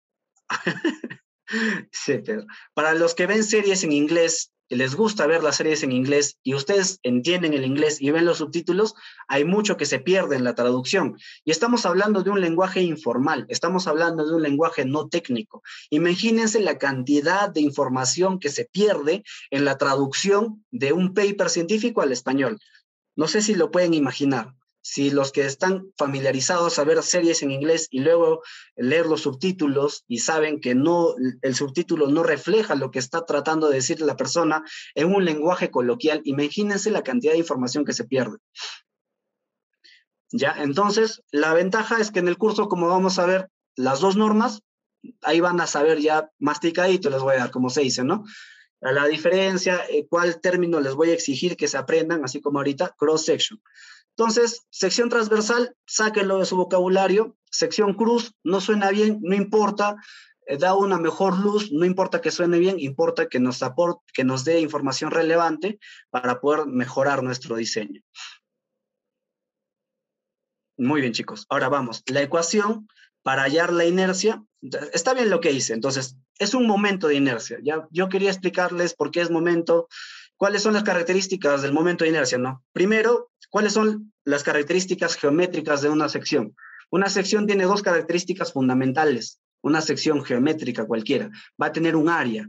un área tiene que tener necesariamente una sección bidimensional porque es lo que lo delimita, ¿no?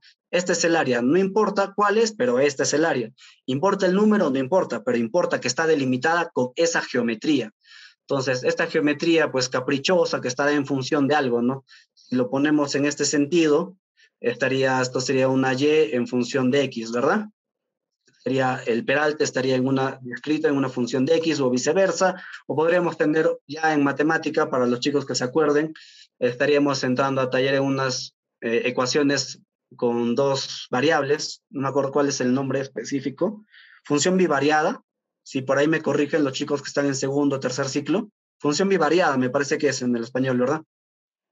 ¿Nadie? Ya. La idea es que la propiedad fundamental de una sección es el área y otra propiedad es su centro geométrico. Su centro geométrico, ¿cómo lo conocemos? Como centroide, ¿no? Nosotros lo conocemos como centroide, lo que nos hace entender que de esa área que hemos dibujado toda irregular, el centro de, cualquier punto de esa área en funciones, en valores geométricos, ese es su centroide. Entonces, el centroide es donde generalmente ubicamos a, la sección cruz, ¿no? O sea, la cross section, la sección cruz, esa cruz se ubica generalmente en el centroide porque es el punto que mejor representa la sección. ¿Me estoy dejando entender hasta aquí? ¿Algún pequeño repaso de, de geometría para los que no se acuerden? Sí, chicos. Participen, por favor. Sí, perfecto. Entonces, ¿Por qué ya? Ahora, ¿qué es lo que pasa con la inercia? La inercia es un momento. Ya yo quería hacer la demostración de la inercia, pero como es un momento, tenemos que graficarlo como se grafica un momento. Entonces, el momento nosotros lo veríamos así, ¿no? Porque está girando alrededor del eje X. Entonces, aquí tenemos el eje Y, perdonen los gráficos. Tenemos el eje X y por aquí tenemos el eje Y. Y este momento estaría girando alrededor del eje X. Esa sería la inercia en X porque gira alrededor de X. Y la inercia en Y, ¿qué significa? Que gira alrededor de Y. Y esta, esta Y, esta X, ¿dónde la veo en mi sección transversal? No sé, pero en la sección cruz la voy a ver y se va a ubicar generalmente en el centroide. ¿Por qué en el centroide? Porque es el punto representativo del área. ¿Y por qué el área? Porque el área es la principal característica que tiene que tener un elemento bidimensional, que se representa en dos dimensiones. Y más explicado creo que no puede estar. Entonces, ahí lo tenemos. La cross section se ubica generalmente en el centroide. El centroide lo conocemos, ahí está ya delimitado, que es B medios para un rectángulo, ¿no? En función, ustedes saben que también los que están en estática hay una ecuación para hallar el centroide cuando tenemos funciones, muy útil para los ejercicios universitarios donde tengan cargas distribuidas, o sea, cargas distribuidas definidas por una función. Entonces ahí podemos hallar el centroide, hallar el área a través de integrar esa carga. ¿Y dónde ubico esa puntual? Lo ubico pues en el centroide, ¿no? Muy bien, chicos, veamos. Eh, el momento de inercia, por si acaso, siempre es positivo. ¿Por qué? Porque es el segundo momento del área en su expresión. ¿Cuál es la ecuación general del momento de inercia? La ecuación general es esta. Lo voy a hacer de color azul, ¿ya? La ecuación general es así. Entonces, como estamos trabajando la inercia en X, muy bien, lo que había dicho los que dijeron azul, ganaron. Aquí, esto sería un diferencial de qué? ¿De X o de Y? A ver, ¿quién me dice? Al toque, chicos, participen. De Y, muy bien, perfecto. El primerito, el primero, muy bien. Es un diferencial de Y y este va a ser un diferencial de X. ¿Y cuán importante es sección cruz? te da todo el aparato matemático para poder seguir con las demostraciones y todo eso. Sección transversal simplemente te dice que es un corte perpendicular al eje longitudinal, no te dice nada más. Entonces, como este momento de inercia está girando en función de X, lo que nos va a interesar el área de influencia va a ser Y. Entonces, va a ser la integral de Y al cuadrado del diferencial de área. Pero ya, esa es la ecuación. La vamos a poner con, con la respectiva señalización de que es una ecuación. Eso lo van a ver en libros antiguos en inglés, de mecánica de materiales, de estática. Las primeras ediciones del Hibler, la nomenclatura clásica era esta. Un cuadradito es la ecuación, la fórmula general. Ahora lo hacen con sombreaditos, así, ¿no? Entonces, sigamos. Vamos a desarrollar este integral el momento de inercia. Seguimos. Entonces, el diferencial de área que hemos creado es este de aquí. Y como está girando alrededor del eje X, variación va a estar alrededor del eje Y, como han visto, el diferencial de áreas de Y. ¿Por qué queremos saber la inercia de X? Se preguntarán, porque cuando yo flecto un elemento, está, aquí está la, sección Y, y por aquí sería el X, ¿no? Que no lo podemos ver, y este sería el Y. La flexión ocurre en este sentido. Los momentos que ocurren, ocurren en este sentido. En este caso, los momentos, para que lo hagan de esta manera, para que la flecten la sección de esta manera, serían en este sentido.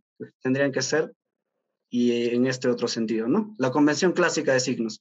Carita feliz es positivo. Ya las, las ¿cómo se llaman estos? Las memotecnias.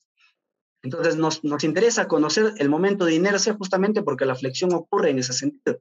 Entonces aplicamos diferencial de área, ¿cuál va a ser? La base por, la por el diferencial de y. Reemplazamos nada más.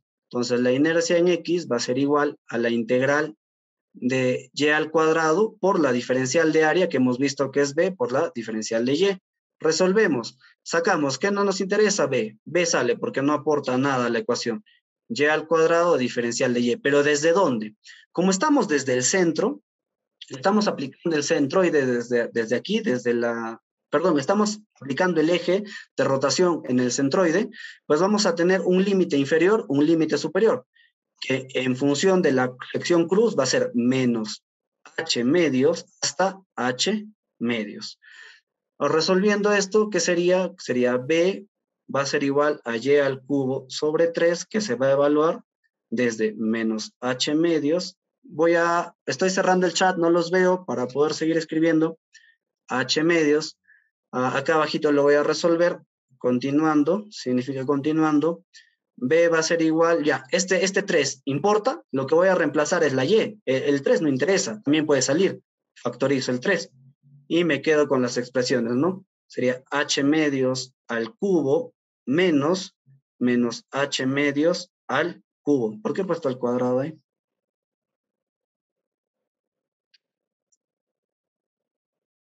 Cubo, cubo.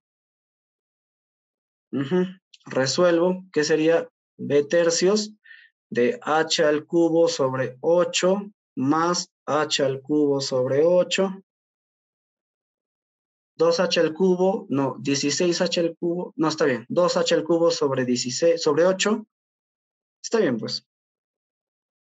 Bien, vamos por acá, sería 2h al cubo por b sobre 3 por 8, mitad 1, mitad 4, ¿qué nos queda? bh al cubo sobre 12, ¿está bien? ¿Sí lo entendieron? ¿Y esto qué es? La inercia en x.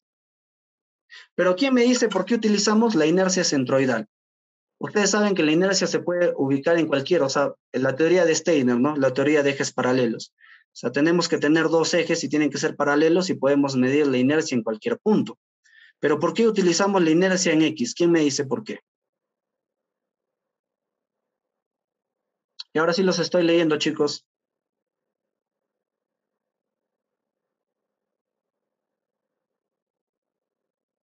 por el eje neutro, no. Ya, esto tiene, esta pregunta va más dirigida a los que ya egresaron, a los que están titulados. Esto es básico, es basiquísima, pero tiene mucho que ver con el criterio de diseño. Ya con eso creo que ya les di la respuesta. Más fácil que eso no lo puedo dejar. A ver, ¿por qué? Para determinar, no, no, no. No puedo, no puedo aceptar respuestas a medias para los chicos que ya han egresado. ¿Por qué utilizamos el centroide, este, la inercia con respecto al centroide? ¿Nadie? Ya, no se preocupen, yo le voy a dar la respuesta. Vamos, vamos a hallar la respuesta por criterio ingenieril, lo que les decía que tenemos que desarrollar.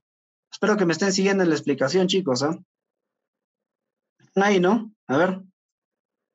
¡Hala! Se han ido unos 10. Ya, pues malazo, porque íbamos a ir en, Ahora sí estamos yendo a temas serios ya. Entonces vamos a definir un eje. Tiene que ser paralelo. ¿Por qué tiene que ser paralelo? Bueno, hemos visto que la inercia rota, ¿no? Alrededor de un eje. Por desplazamientos, porque se concentra en el centro mayor inercia. Mayor inercia en el centro. ¿Ya? Me gusta, me gusta que participen, chicos, participen. Está muy genial que participen. Esto les sirve más a ustedes que a mí. La respuesta yo la sé y si les doy la respuesta así, no van a entender. Ustedes tienen que esforzarse por tratar de identificar cuál es la respuesta. No, es un criterio de diseño. Que nosotros utilicemos el momento de inercia en el centroide es un criterio de diseño. A ver, si por ahí los chicos de, que ya están titulados se avispan un poquito. Es un criterio de diseño. O sea, ya desde ahí, desde estas primeras etapas en el, en el, en el curso, en la carrera, ya estamos viendo criterios de diseño. Para reducir estribos, ya por ahí quizás menor inercia, bien. Hans dio la respuesta.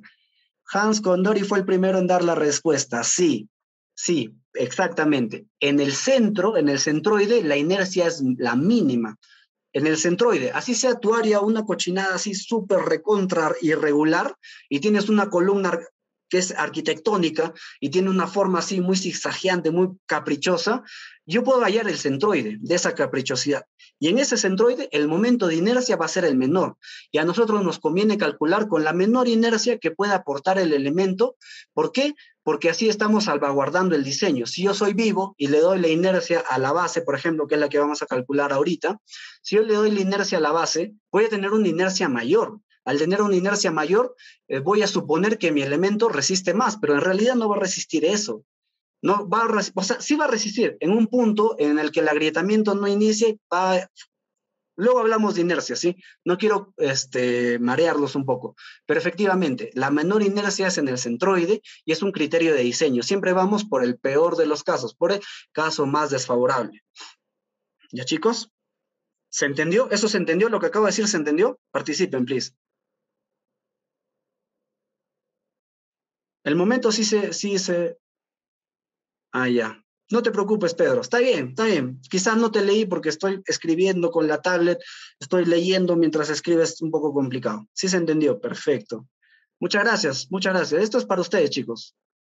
Yo solamente estoy contento con que me digan que se entendió. Esa es la mejor gracias que me puedan dar. Ingeniero, le entendí, ya, listo, yo no más. Vamos a calcular la inercia abajo. Y esto es importante porque en el curso a diferencia de otros cursos, les voy a enseñar a calcular deflexiones por agrietamiento, deflexiones por compresión, deflexiones por flexión, verificación del agrietamiento. no, tranquilos chicos, tranquilos. Vamos, vamos, vamos. Vamos a avanzar. Yo quiero que, que entiendan, yo quiero que lleguen aquí y entiendan este gráfico así como viéndolo y digan, ah, chispas, por eso diseñamos de esta manera las losas, porque este gráfico que están viendo ahorita de las parrillas es el gráfico resumen. Es el gráfico resumen en el cual yo puedo determinar, ah, de razón es así. Ya me queda completamente explícito, no tengo mayores dudas. Entonces vamos a llegar al gráfico, espérense. Ahí están viendo dibujitos que algo les dice, ¿no? Ya, vamos a calcular la inercia. Entonces la inercia en, perdón, ya, la inercia Voy a hacerlo grande y luego lo voy a hacer chiquito, ¿ya? Porque no, la pantalla está muy pequeñita. La inercia en A, a ver. Ya está. La inercia en A va a ser de la misma manera. Va a ser la integral, pero en este caso, en A, la, la sección está para acá abajo. La sección que quiero analizar está para acá arriba. Entonces, mis límites, ¿dónde van a ser? Desde aquí hasta arriba. Ahora, mis ejes Y y X van a estar acá, ¿no? Ya no van a estar ahí abajo van a estar acá. Los estoy colocando aquí, mis ejes. En este caso, efectos de verdad, cálculo real, los estaría colocando aquí el eje Y y este eje A es similar a mi eje X, ¿no? Es paralelo al eje X. Entonces, al estar, pero mucho cuidado, porque, por ejemplo, cuando nosotros queremos verificar las deflexiones por torsión en el concreto armado, que es que algo que no se hace y que también no se enseña, tenemos que verificar acá la inercia en esta esquina, porque eso nos va a dar el momento de agrietamiento por torsión. Vean, no los mareo, pero un poco para que entiendan. Sigamos. Entonces, efectos reales, estamos ubicando el eje Y, permanece alineado al eje centroidal, donde está ubicado la cross section, la sección transversal. Entonces, en este punto, ¿dónde va a variar B? Eh, perdón, H va a variar desde 0 hasta H, ¿sí o no? ¿Ok? Igual, se repite, es simplemente, eh, perdón, el cuadrado y se repite el, procedimiento, es mucho más sencillo incluso ahora. El diferencial de, de, área era acá, diferencial de área. Y el diferencial de área, ya hemos visto que para la inercia que rota en el eje X va a ser la de color azul, ¿verdad? Entonces sería el diferencial de área, va a ser la base por diferencial de Y, volvemos a reemplazar, rápidamente, para no aburrirlos, sería, bueno, a mí me encanta el procedimiento manual, como les dije, si a ustedes les gusta, métanse el curso, porque todo el curso lo vamos a hacer manual, todas las ecuaciones las voy a demostrar, de todas las fórmulas de diseño, de todo lo que está en el manual. A mayor problema, por ello se colocan mayores estribos en las vigas. Muy bien, sí, pero incluso, o sea, con el aporte del acero. Lo que vamos a verificar es del concreto armado, no solo del concreto. Del concreto no me conviene este, solo analizarlo, no estaría reflejando la estructura. Cuando vamos a verificar reflexiones, lo vamos a hacer con concreto más acero. Y ahí necesito que estén hábiles en, materiales, en resistencia a materiales. Si no están hábiles, voy a evaluar cómo están con las fórmulas anteriores de flexión. Si veo que me han entendido, ya acá, nos vamos de frente con, de frente al, como uno solo. Cálculo haremos también. Sí, podemos utilizar, podemos utilizar el ETAP. Chicos, hay que avanzar. Ok, a ver, y de diferencial de área, ah, ya, y al cuadrado por b por diferencial de y. Esto lo resolvemos, sería b tercios de y al cubo, que va a estar evaluado desde 0 hasta h. Como h, 0 no, menos 0 es igual a nada, simplemente reemplazamos y nos queda que la inercia en A va a ser igual a B por H al cubo sobre 3, que obviamente es mayor que la inercia de X, que sería BH al cubo sobre 12. ¿Cuántas veces mayores? Yo tendría que multiplicar, mira, y esto quiero que quede mucho ojo. Si no entiende en términos matemáticos, no se preocupe. Ah, yo les voy a explicar, ¿sí? Pero tener un criterio matemático es importante. Esto nos va a dar más luces más rápido en cuanto al diseño. Esto es menor porque está dividido en 12 partes, ¿no? 12 partes es más chiquito que dividir algo en tres partes. Pero sin embargo, ¿cuántas veces más? Pues yo tendría que multiplicar por 4 para, para obtener la misma inercia que en la base de la sección. O sea, ¿esto qué quiere decir? En términos sencillos, cuatro veces la inercia en X va a ser igual la inercia en A. Estas deducciones matemáticas, yo por eso les expliqué al inicio. Hay un pequeño taller que hago siempre en mis cursos de por qué, maldita sea, llevamos matemática, hasta cálculo, hasta métodos numéricos. Muchas veces he visto a chicos que reniegan, que no les gusta, pero es para esto. Al final del día no sirve absolutamente, es una herramienta básica para poder nosotros diseñar.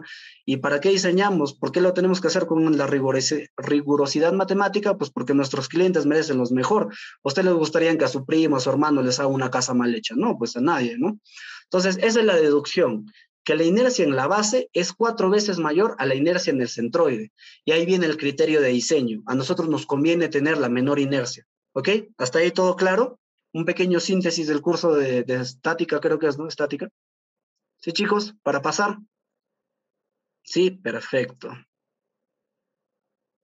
Ah, claro, sí, se va a mostrar en el curso bastantes este, diseños que se han hecho. No te preocupes, Pedro. Muy bien, veo que solamente Roxana creo entendido. ¿Nadie más ha entendido? O bueno, Roxani, perdón. Chicos. Oh, claro, por ahí. Claro, yo quiero ver que entiendan. Esto de la inercia, perfecto. Ahora ya cuando vuelvan a sus cursos, ya más ágiles, más ágiles. Ya aquí, rápido, momento curvatura. ¿Quién lo demuestra al toque? ¿Quién me hace la relación curvatura de, de esta sección? Egresados, este es su momento de brillar. Al toque nomás, acá están los datos. En el gráfico están todos los datos. ¿Alguien? ¿Nadie? Ya, no se preocupen ya. Entonces, ¿cuál es la primera hipótesis? Que en una zona de elasticidad las caras permanecen planas. Sí, vamos a, yo a mí me gusta demostrar esta hipótesis de la elasticidad. Es muy chévere. Pero sí es bien larga, son como dos clases así. Pero si la llegan a entender es brava, brava. Por eso es que me gusta. Entonces, chicos, ya, en la elasticidad, ¿cuál es el principal criterio? El diagrama de momento curvatura sirve para verificar la utilidad de un elemento. No, no, no. Momento curvatura, el diagrama, es más allá del rango elástico. Más allá del rango elástico. O sea, está la curva, o sea, una curva típica del acero, chicos, tiene varios puntos, ¿no? Tenemos aquí dos puntos. Tenemos el esfuerzo de fluencia y antes de aquí tenemos el límite de proporcionalidad, ¿no? El límite de proporcionalidad. Luego tenemos la zona de estricción, luego tenemos la zona de fluencia, la zona de endurecimiento y acá llegamos al esfuerzo último y por acá tenemos el esfuerzo de rotura. Entonces, la curva momento-capacidad es aplicando esto, o sea, eh, en universidad hasta donde vemos hasta acá nada más, ¿cierto? Nos interesa el rango elástico. Pero si ustedes hablan de momento curvatura con el diagrama de momento curvatura, es que yo le doy momentos cada vez más grandes a la sección. Y aquí, con esto refuerzo lo que les dije. En concreto armado diseñamos secciones, no diseñamos elementos, no se aloquen.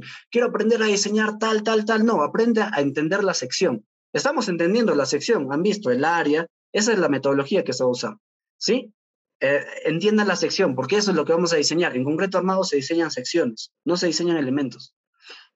Entonces, Ah, cuando vamos a someter a, momentos cada vez mayores, vamos a superar el esfuerzo de fluencia, vamos a entrar en una etapa, entonces va a haber un comportamiento 1, va a haber un comportamiento 2, un comportamiento 3, generalmente aquí ya se empieza a endurecer.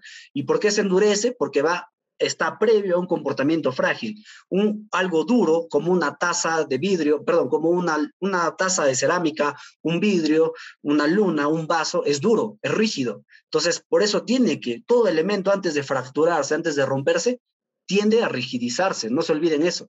¿Sí? Entonces, aquí es muy importante porque acá un mal criterio, como aquí hemos podido hacer un pequeño criterio rápido, ¿no? Allá, la inercia en la base es cuatro veces a la inercia en la, en el centroide, aquí he visto bastantes errores. Aquí hay bastantes malos criterios. Se piensa que la sección resiste más, no, está cerca a romperse. Hay endurecimiento, pero no hay mayor rigidez. Ahí hay pequeñas sutilezas que hay que entender, chicos, así como eso de ahí, de la inercia, que tiene que estar bien claro, así. Y luego finalmente entramos a la etapa de rotura, que generalmente ya no se verifica, ya. O sea, el diagrama en momento curvatura típico agarra tres, tres comportamientos. Obviamente esto sería del concreto más el acero, solamente hemos visto del acero. ¿ya? Bueno, vamos al, aquí a la curvatura. Lo que he dicho es la curvatura. ¿Qué me demuestra la curvatura? Les dije. A ver. Claro, no, todas las vigas son doblemente reforzadas, Elvis.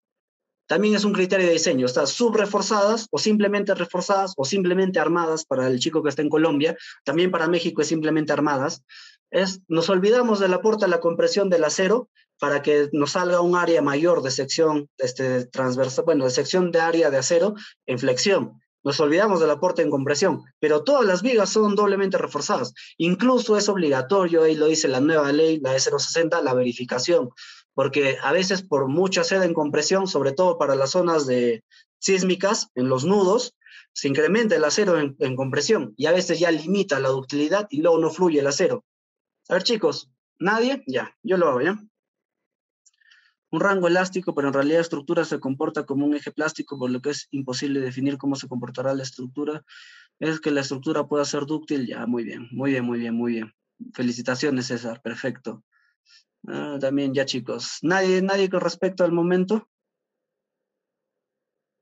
Ah, sí, perfecto, Alejandro. Sí, vamos a, yo sé que la primera etapa del curso todos van a querer sacarse las dudas, las inquietudes que tengan ahí, y lo vamos a hacer y luego vamos a poder avanzar tranquilos. Por eso a mí me gusta la participación. A ver, la elasticidad, lo primero, eso, ahí está, muy bien. Ya, Mario es el primero, pero está por ahí, está por ahí, pero no está, es que está hablando de rótula, pero está por ahí, está muy bien lo que has dicho. Entonces, la elasticidad, las caras permanecen planas. ¿Las caras de qué? De la cross section, ¿no? De la sección transversal. Escucha, letra. Las caras de la cross section, de la sección transversal, y este término, utilícenlo, así no, no se, se ríen los ingenieros, ustedes ríanse de ellos. Cross section permanecen planas, o sea que no presentan flexión. Esto es muy importante y esto por eso me gusta demostrarlo. Pero sí, esto sí se va del curso. Quizás si estuviéramos en resistencia a materiales, así sería acá. Entonces, ¿qué es? La longitud de arco, chicos, en, geometría básica es igual al ángulo por el radio, ¿verdad? ¿Sí? ¿Se acuerdan del cole? Ángulo por el radio, ahí está. La longitud de arco de circunferencia es el ángulo por el radio. Ahora, como las secciones permanecen planas, significa que esta longitud no se ha deformado. ¿Qué quiere decir? Que no se ha estirado o se ha comprimido. Si bien hay compresión, y acá es un tema bien delicado, hay compresión y tracción, como pueden ver aquí en la figura del costado, por eso está ahí la figura grandaza, hay compresión y tracción en la sección, pero es longitudinalmente. La sección, en este caso, en este gráfico, ¿cuál es? La sección es esta de acá, chicos. Esta de acá es la sección. La sección permanece plana. Lo que se comprime y se tracciona es el eje longitudinal. Por eso es importante estática. Ahí está. Ya.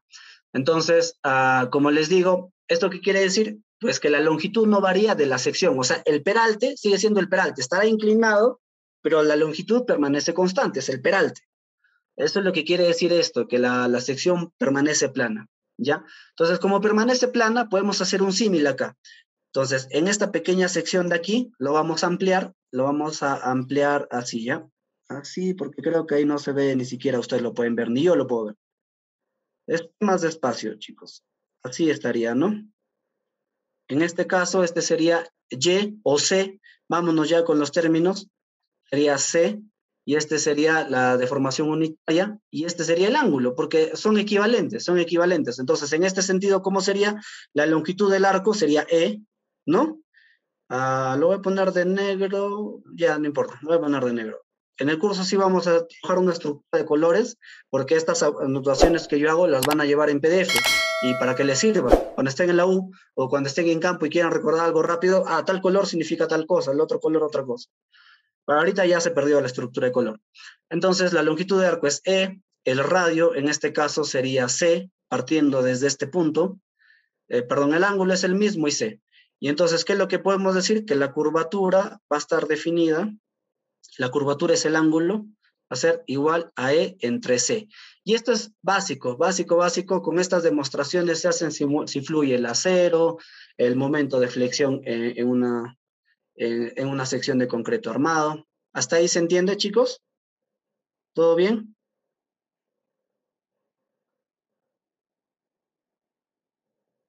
¿Nadie? ¿Sí? Perfecto.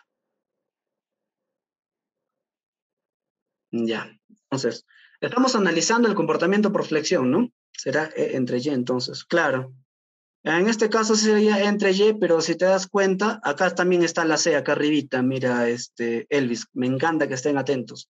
Acá está la C, y en este caso, como el eje es neutro, sí, sí está ahí. ¿Por qué se llama el eje neutro? El C, la profundidad del eje neutro, desde la fibra comprimida hasta el eje neutro. Esa es, esta parte de la izquierda está el concreto armado, ¿no? Nosotros vemos peralte como D, que sería de la altura menos un número que hemos calculado en función del área de acero, o a veces le ponemos menos 6 o H menos 9.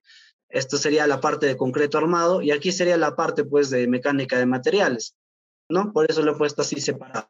Pero si nos vamos directamente al símil, nos importa más esta relación de acá, que es la deformada entre la longitud de profundidad del eje neutro, perdón. Sí, vamos a utilizar formatos, pero no se acostumbren. Como les digo, todo esto se van a demorar más modelos en el Excel, en el MatCat, a este nivel, que es más rápido que lo tengan en la cabeza. Conteniendo eso en la cabeza, las plantillas las vamos a utilizar como una herramienta y no como algo principal del curso. Eso quiero que quede claro desde ahorita. ¿Sí? Pero ya van a entender por qué. Van a ver que yo les explico paso a paso por qué es mejor así, me van a decir, ah, verdad. A ver, ¿qué les decía acá? Entonces, ¿por qué el eje neutro? Aquí lo que vamos a estar viendo es más que nada los esfuerzos normales, ¿no? Para los esfuerzos normales, lo que tenemos es la siguiente ecuación. El esfuerzo normal, o sea, ¿qué quiere decir normal? Pues esta, esta tracción está perpendicular, pues eso es normal. ¿Se acuerdan de resistencia normal, de, de resistencia de materiales? Un esfuerzo normal sería esto, ¿no? Siempre y cuando sea perpendicular a esta sección que estoy analizando en este instante, ese sería un esfuerzo normal. Y eso es lo que van a ver, ¿no? ¿Ustedes entienden bien esto? Vamos a poder analizar el comportamiento por torsión, por flexión, así con cositas sencillas. Más complicado. Paciencia, nada más. Ahí dentro de los requisitos, si ven el brochure, dice paciencia. Si no eres paciente, no vas a ser muy ingeniero. Tienes que ser, pues no es que ya yo lo quiero al toque. Eso no está bien. Por eso es que nuestro país está como está. Un pequeño sismo de intensidad 6.1 que ni siquiera llega a la de diseño y se están cayendo las viviendas, Estamos mal, chicos. Tenemos que corregir eso. Ya, los esfuerzos normales, la ecuación es esta, ¿no? Va a ser el momento que se está aplicando en la sección dividido entre la inercia y la longitud que es la que queremos conocer. Que por extremos y medios, básicamente el esfuerzo normal va a ser igual al momento por la longitud a la que queremos conocer dividida entre la inercia. Esta inercia es la inercia en X y es la centroidal. Entonces, siempre que vean inercia con esto, es porque está ubicada en el centroide, ¿ya chicos? No se olviden, todo libro que quieran revisar lo van a encontrar así, sobre todo en inglés. ¿Dónde no lo van a encontrar así? Se van a confundir en el español. No lo ponen así. En el inglés, todos, es como ya sabido, pues, ¿no? Ya es conocido. La inercia centroidal tiene una rayita arriba. Entonces, esta es la ecuación. ¿Por qué? ¿Cómo demostramos que en el eje neutro precisamente la, este, la distribución es cero? Pues es lo que tenemos que hacer. Simplemente reemplazamos, ¿no? Por ejemplo, si tenemos que la profundidad del eje neutro acá, en nuestra sección, la vamos a traer de esta. Es esta misma sección, ya chicos, estamos analizando esta misma sección que ven aquí, base por altura, es la misma que estamos analizando ahorita por, por cortante, por, este, por esfuerzos normales. ¿Sí me entienden, no? A ver, por ahí alguien que no le quede claro. Chicos, yo les dije, va a ser pesado. Se van a querer dormir. Perfecto, entonces esta sería la base y la altura. Es la misma sección. Ay, Dios. Y ahí está. Perfecto. Entonces vamos a reemplazar. El momento no lo conocemos, ahorita no, no interesa, pero de hecho hay un momento que está generando los esfuerzos normales. Vamos a tener un momento. El esfuerzo normal va a ser igual al momento por Y, lo que queremos saber, la profundidad del eje neutro, por la inercia de la sección, que va a ser base por altura al cubo sobre 12, que está en función del eje X. En este caso, porque el momento está girando alrededor del eje X, como pueden ver, ¿no? ¿Se acuerdan? Esta es la cross section, acá está el eje Y. Eso es lo que quería que deduzcan cuando les digo que es la otra sección, ¿no? Que es la cross section. ¿Ya? Entonces está girando alrededor del eje X, por lo tanto la inercia es esta. Reemplazamos y vamos a tener de esta manera, mm, a ver, 12 veces el momento, la, profundidad que queremos conocer hacia el cubo. Esto va a ser igual a cero, porque eh, ya, ya no hemos definido C, ¿no? Es igual al esfuerzo. Esto pasa a multiplicar, y va a estar en términos de momento por la profundidad por 12 veces. Así, pasa al cubo el esfuerzo sobre 12m. Entonces, esto lo vamos a utilizar, chicos, bastante, bastante, bastante en lo que es, ya no, no se va a poder, es que quería hacer pequeños ejemplos prácticos, por ahí les dije la, la posibilidad de evaluar, usar el ETAPS y ir a sacar un momento literal de ahí, pero yo pensé que tres horas iba a ser mucho. Resultó ser poquito. Perfecto. Ya está. Un ejemplo práctico, de un número al azar, un momento cualquiera. Un momento cualquiera, a ver. Un momento de 40 toneladas por metro. Una base ya 45. Ya está, 40. Entonces, le aplicamos directamente. Vamos a hallar el esfuerzo. Vamos a hallar el esfuerzo aquí ya, cuando la distancia sería h medios.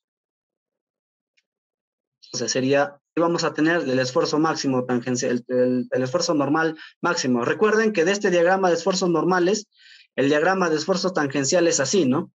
Por aquí pasa el eje y aquí donde el esfuerzo normal es mínimo, la tangente es máxima. ¿Se acuerdan de eso? De mecánica de materiales. Eso también nos va a servir bastante para diseño en concreto.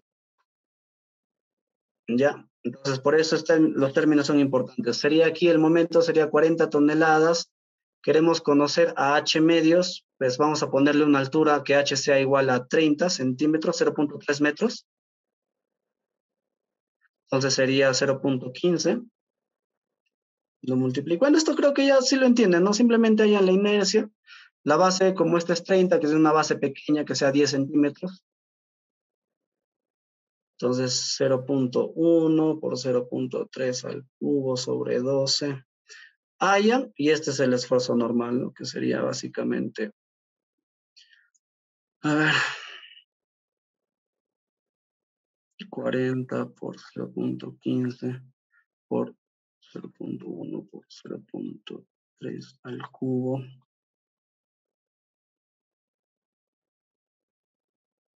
Sobre 12, 26.66.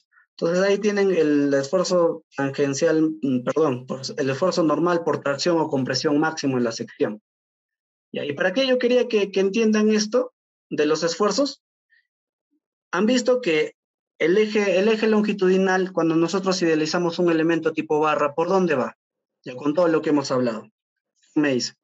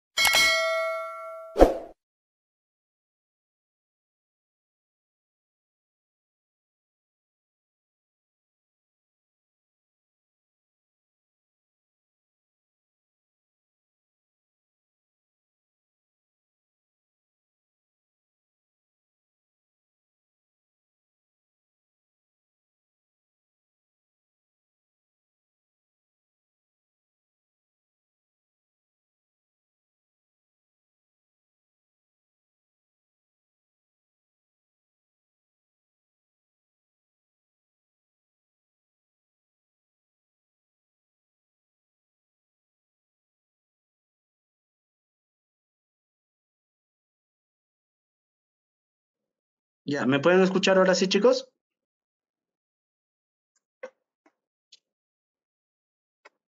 Sí, sí, hubo una pequeña interrupción. Genial, perfecto. Voy a volver a compartir.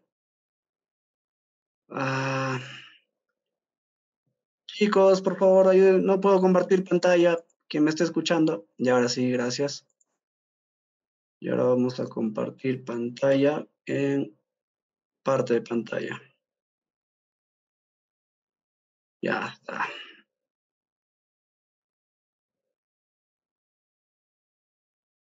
Muy bien. Volvamos a la clase. Muchas gracias. A ver, chicos, cuando yo hago este elemento tipo línea, que es nuestro elemento, ya sea una viga o una columna, ¿por dónde pasa esa línea del área?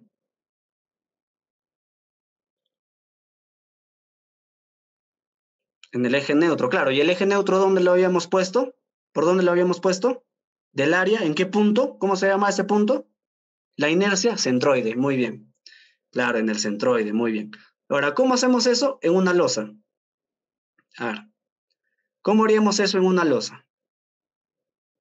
¿Cuál sería el centroide de, de toda la losa? ¿Sería posible hacer eso? ¿Sería adecuado hacer eso?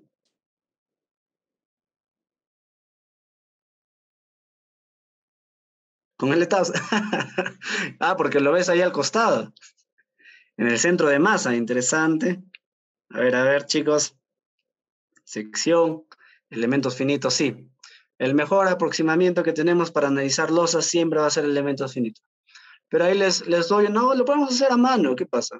Esto, chicos, todo lo que, que la compu lo haga, que la compu sea ingeniero. Ya, chicos, les explico. Entonces, fíjense, ahí tenemos la losa y a la losa vamos a tener zonas de influencia. En, estas, en esta losa se ha identificado una, dos y tres zonas de influencia. Entonces, como no podemos modelar las tres zonas de influencia, incluirlas dentro de un solo punto que cruce por el eje, ¿qué es lo que pasa?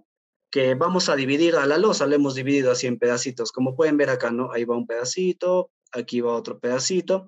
Y, de, esta, de este pedazo grande que hemos dividido, un tercio, lo vamos a modelar por de esta, vamos a crear una sección ficticia y este sería el centroide de esta sección hasta este otro centroide y ahí hacemos pasar nuestro elemento tipo línea. Estaría modelando la influencia de la sección de, esquina de esta losa, luego una sección central donde habría una curvatura mayor. Por eso hemos estado viendo, ¿no? O sea, una vez que nosotros dividimos a la losa en estas pequeñas regiones y modelando, ay, perdón, se desactivó el lápiz.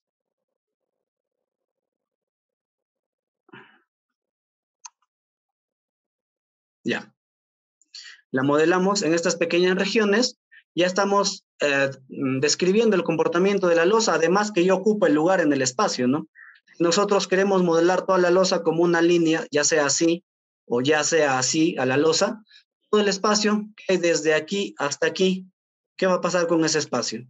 Lo vamos a perder, ¿sí o no? Entonces, estamos modelando a la losa con tres elementos tipo línea que tienen comportamientos característicos, ¿no? La zona del aleteo que le dicen, sería estas barras están representando la zona del aleteo y esta es la zona pura de flexión, la del medio. Pero también la losa tiene otro comportamiento en esta dirección, ¿sí o no? También se va a comportar. Ah, entonces, como esta, esta dimensión es menor, esta dimensión L2 es menor que esta dimensión L1, vamos a dividirlo eh, en menos partes. Por eso hemos puesto solamente dos zonas de influencia y ya podemos modelar. ¿Se entiende este sistema? ¿Se entiende este modelamiento que se ha hecho? Y en cada una de estas líneas, de estos elementos barra que hemos creado tipo línea, ¿qué vamos a analizar? Vamos a analizar todo esto, el momento curvatura, vamos a hallar la inercia de esa pequeña sección. Chicos, ¿pueden verme? Por ahí me escriben que no se puede ver. ¿Me pueden ver? ¿Me ven? Yo sí me veo. ¿Me pueden ver? ¿Sí? Perfecto, perfecto, perfecto. A ver, perfecto, gracias chicos. ¿Y qué tal? ¿Entienden ahora este sistema de parrillas? ¿Se entiende mejor? Perfecto. Sí se entiende, ¿no? Ya. Entonces, este sistema de, ahora ya entienden perfecto qué es una barra, ¿no? Cuando ven una línea, por qué es una línea, por qué calculan esa inercia. Creo que ya en tema de justo cómo se llamaba la sección de esta parte de la explicación, se llamaba idealización. Creo que en ese sentido ya han comprendido cómo es la idealización de los elementos. Ahora, lamentablemente, ¿qué es lo que pasa con el sistema de emparrillado? Por eso yo estaba preguntando si habían llevado por ahí este análisis estructural con métodos matriciales. ¿Por qué les estaba haciendo esa pregunta, chicos? Porque ahí, eh, cuando se resuelven parrillas, se llega a la conclusión que no, es, no se puede modelar la losa.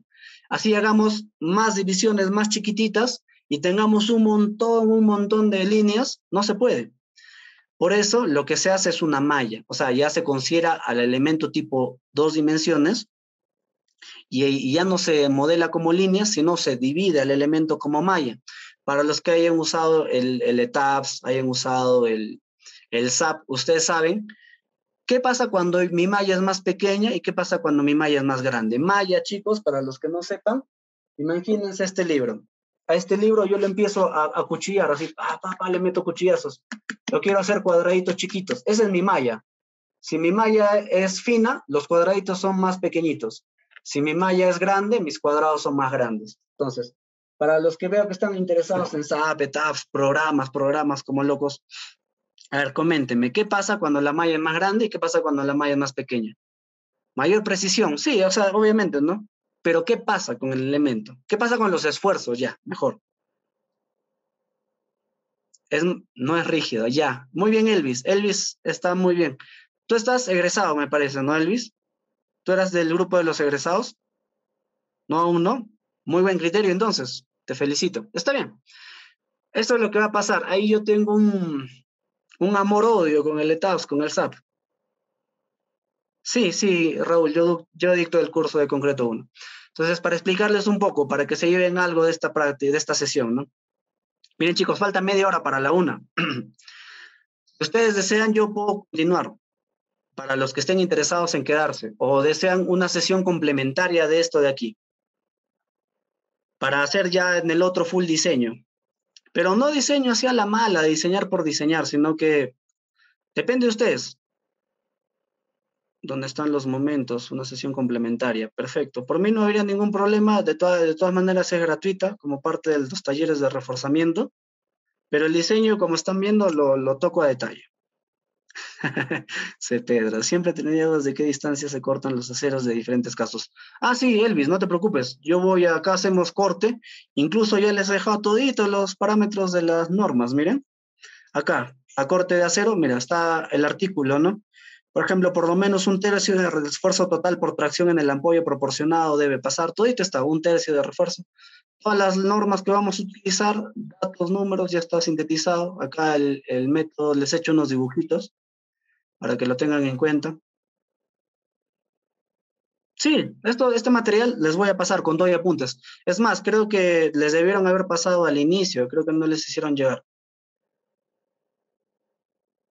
Sí, en el link está el sílabus, ahí vamos a ver. Creo que lo más interesante, si bien no vamos a hacer muros de corte porque el curso sería inmenso, ¿cuál es el problema? Si tocamos todos los tipos estructurales, que sería columnas, vigas, losas, muros de corte, cimentaciones, ¿qué va a pasar? No vamos a poder ver a detalle. Queremos hacer un diseño en esta sesión y todavía no llegamos a la etapa de diseño y veo que hay bastantes dudas. O sea, ya van a aprender a diseñar, pero ¿van a entender el diseño?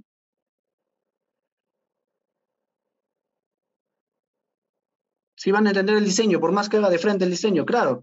Es que ¿cuál es el problema en este caso, chicos? Es esto. Siempre vamos a tener que ir por el caso de los chicos que recién están estudiando, que por primera vez van a ver el curso. Si bien los que ya han llevado el curso, tú ya has llevado, algo habrás escuchado con respecto a diseño. Ahorita, ahorita voy a pedir que pasen el link, ¿sí? Un segundo.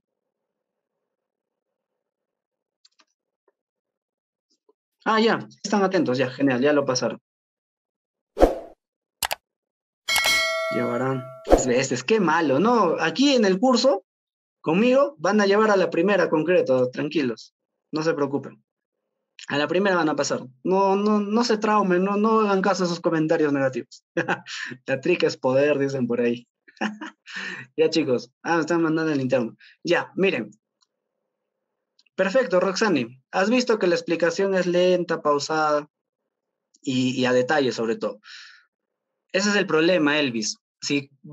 ¿Por qué se lleva concreto 1 y concreto 2 en todas las universidades? ¿Por qué? ¿Por qué? Porque si yo voy a meter en un solo curso todos los elementos, no voy a poder entenderlos a detalle. Al final no voy a aprender nada. No voy a aprender. ¿Cuántos de ustedes he visto que no pueden darme las ecuaciones rápido o las deducciones sencillas de momento de inercia, de cuestiones básicas de estática, mecánica de materiales? Pretender que vas a entender el curso de concreto al nivel que se necesita, como les digo, que he empezado diciéndoles, un ratio de precios, una construcción, por más sencilla que sea, son 110 mil soles, 100 metros cuadrados de dos pisos, que no es mucho no, no está bien que esos 110 mil soles sean una inversión que no valga la pena.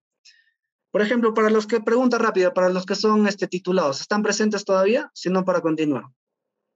A ver, chicos, ¿los titulados siguen ahí o no? Claro. Sí voy a explicar. Acá, acá les estoy explicando con, con casos, este, por decirlo reales, porque están viendo, la modelización es en cualquier caso. No hay ni un, ni un titulado. Ya acá. Bueno, les comento, chicos. Cuando uno hace una edificación, tiene etapas. Tiene que hacer el proyecto arquitectónico, eso lo tiene que hacer un arquitecto, y este proyecto arquitectónico, ¿quién lo revisa? Por ejemplo, si es una edificación de uno o dos pisos, la entidad competente es la municipalidad. De tres, no, hasta tres pisos, perdón. De tres pisos a más, lo tiene que revisar un comité, perdón, un comité este, de colegiados, un comité revisor. Este comité de revisor, ¿por quién está conformado? Por el Colegio de Ingenieros y por el Colegio de Arquitectos. Muy bien, Pedro, felicitaciones. El Colegio de Ingenieros y Arquitectos supervisa el trabajo. O sea, no puedes presentar cualquier cosa eh, partiendo del diseño. Entonces, por eso se divide en dos cursos.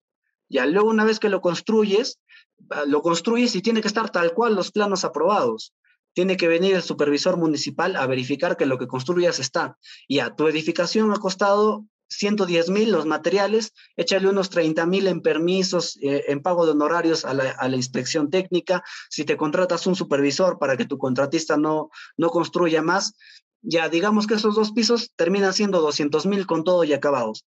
Esa inversión de dinero que es fuerte de 200 mil soles, chicos, eh, ¿Cuándo va a incrementar su valor? Si esta vivienda tiene todas las inspecciones técnicas, los planos de ejecución son los mismos que los planos que han sido aprobados, yo me voy a un banco y tranquilamente vendo esta propiedad por el doble de su precio. Y no miento, no les estoy mintiendo.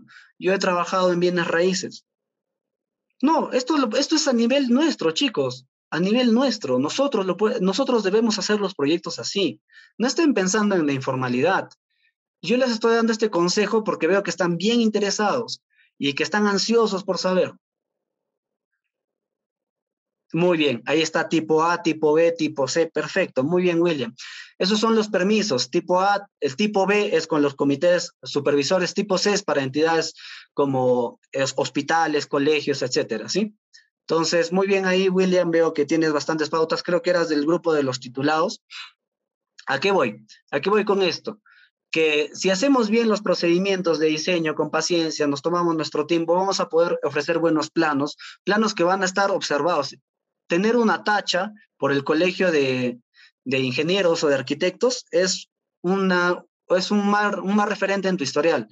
O sea, esas cosas importan. Cuando yo me lanzo a concurso público, quiero tomar un puesto en el que van a pagar 10 mil, 11 mil soles, eh, ahí van a ver eso. Mi historial de tachas. Quiero ver si hay desfase. Sí, perfecto, perfecto.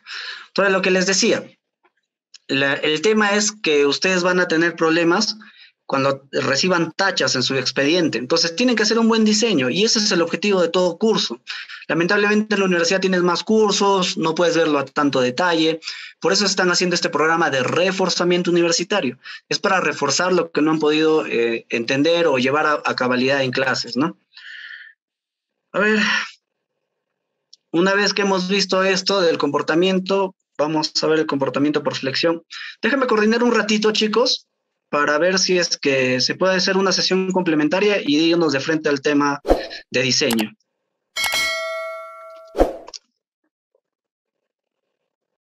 El comportamiento bidireccional, unidireccional, creo que es sencillo de comprender. Si no, lo, si no lo llegan a comprender rápido, es una cuestión de relación de lados. ¿Qué es lo que nos dice la matemática? Elasticidad constante, inercia similar. ¿Por qué? Porque estamos tomando la base, o sea, por ejemplo, elementos bidimensionales, ¿cómo analizamos la inercia? Como una base constante de un metro, ¿sí? Por, la, por el espesor, ¿no? Al cubo sobre 12. Y en cualquier lado el espesor es constante, a menos que tengamos una losa, pues,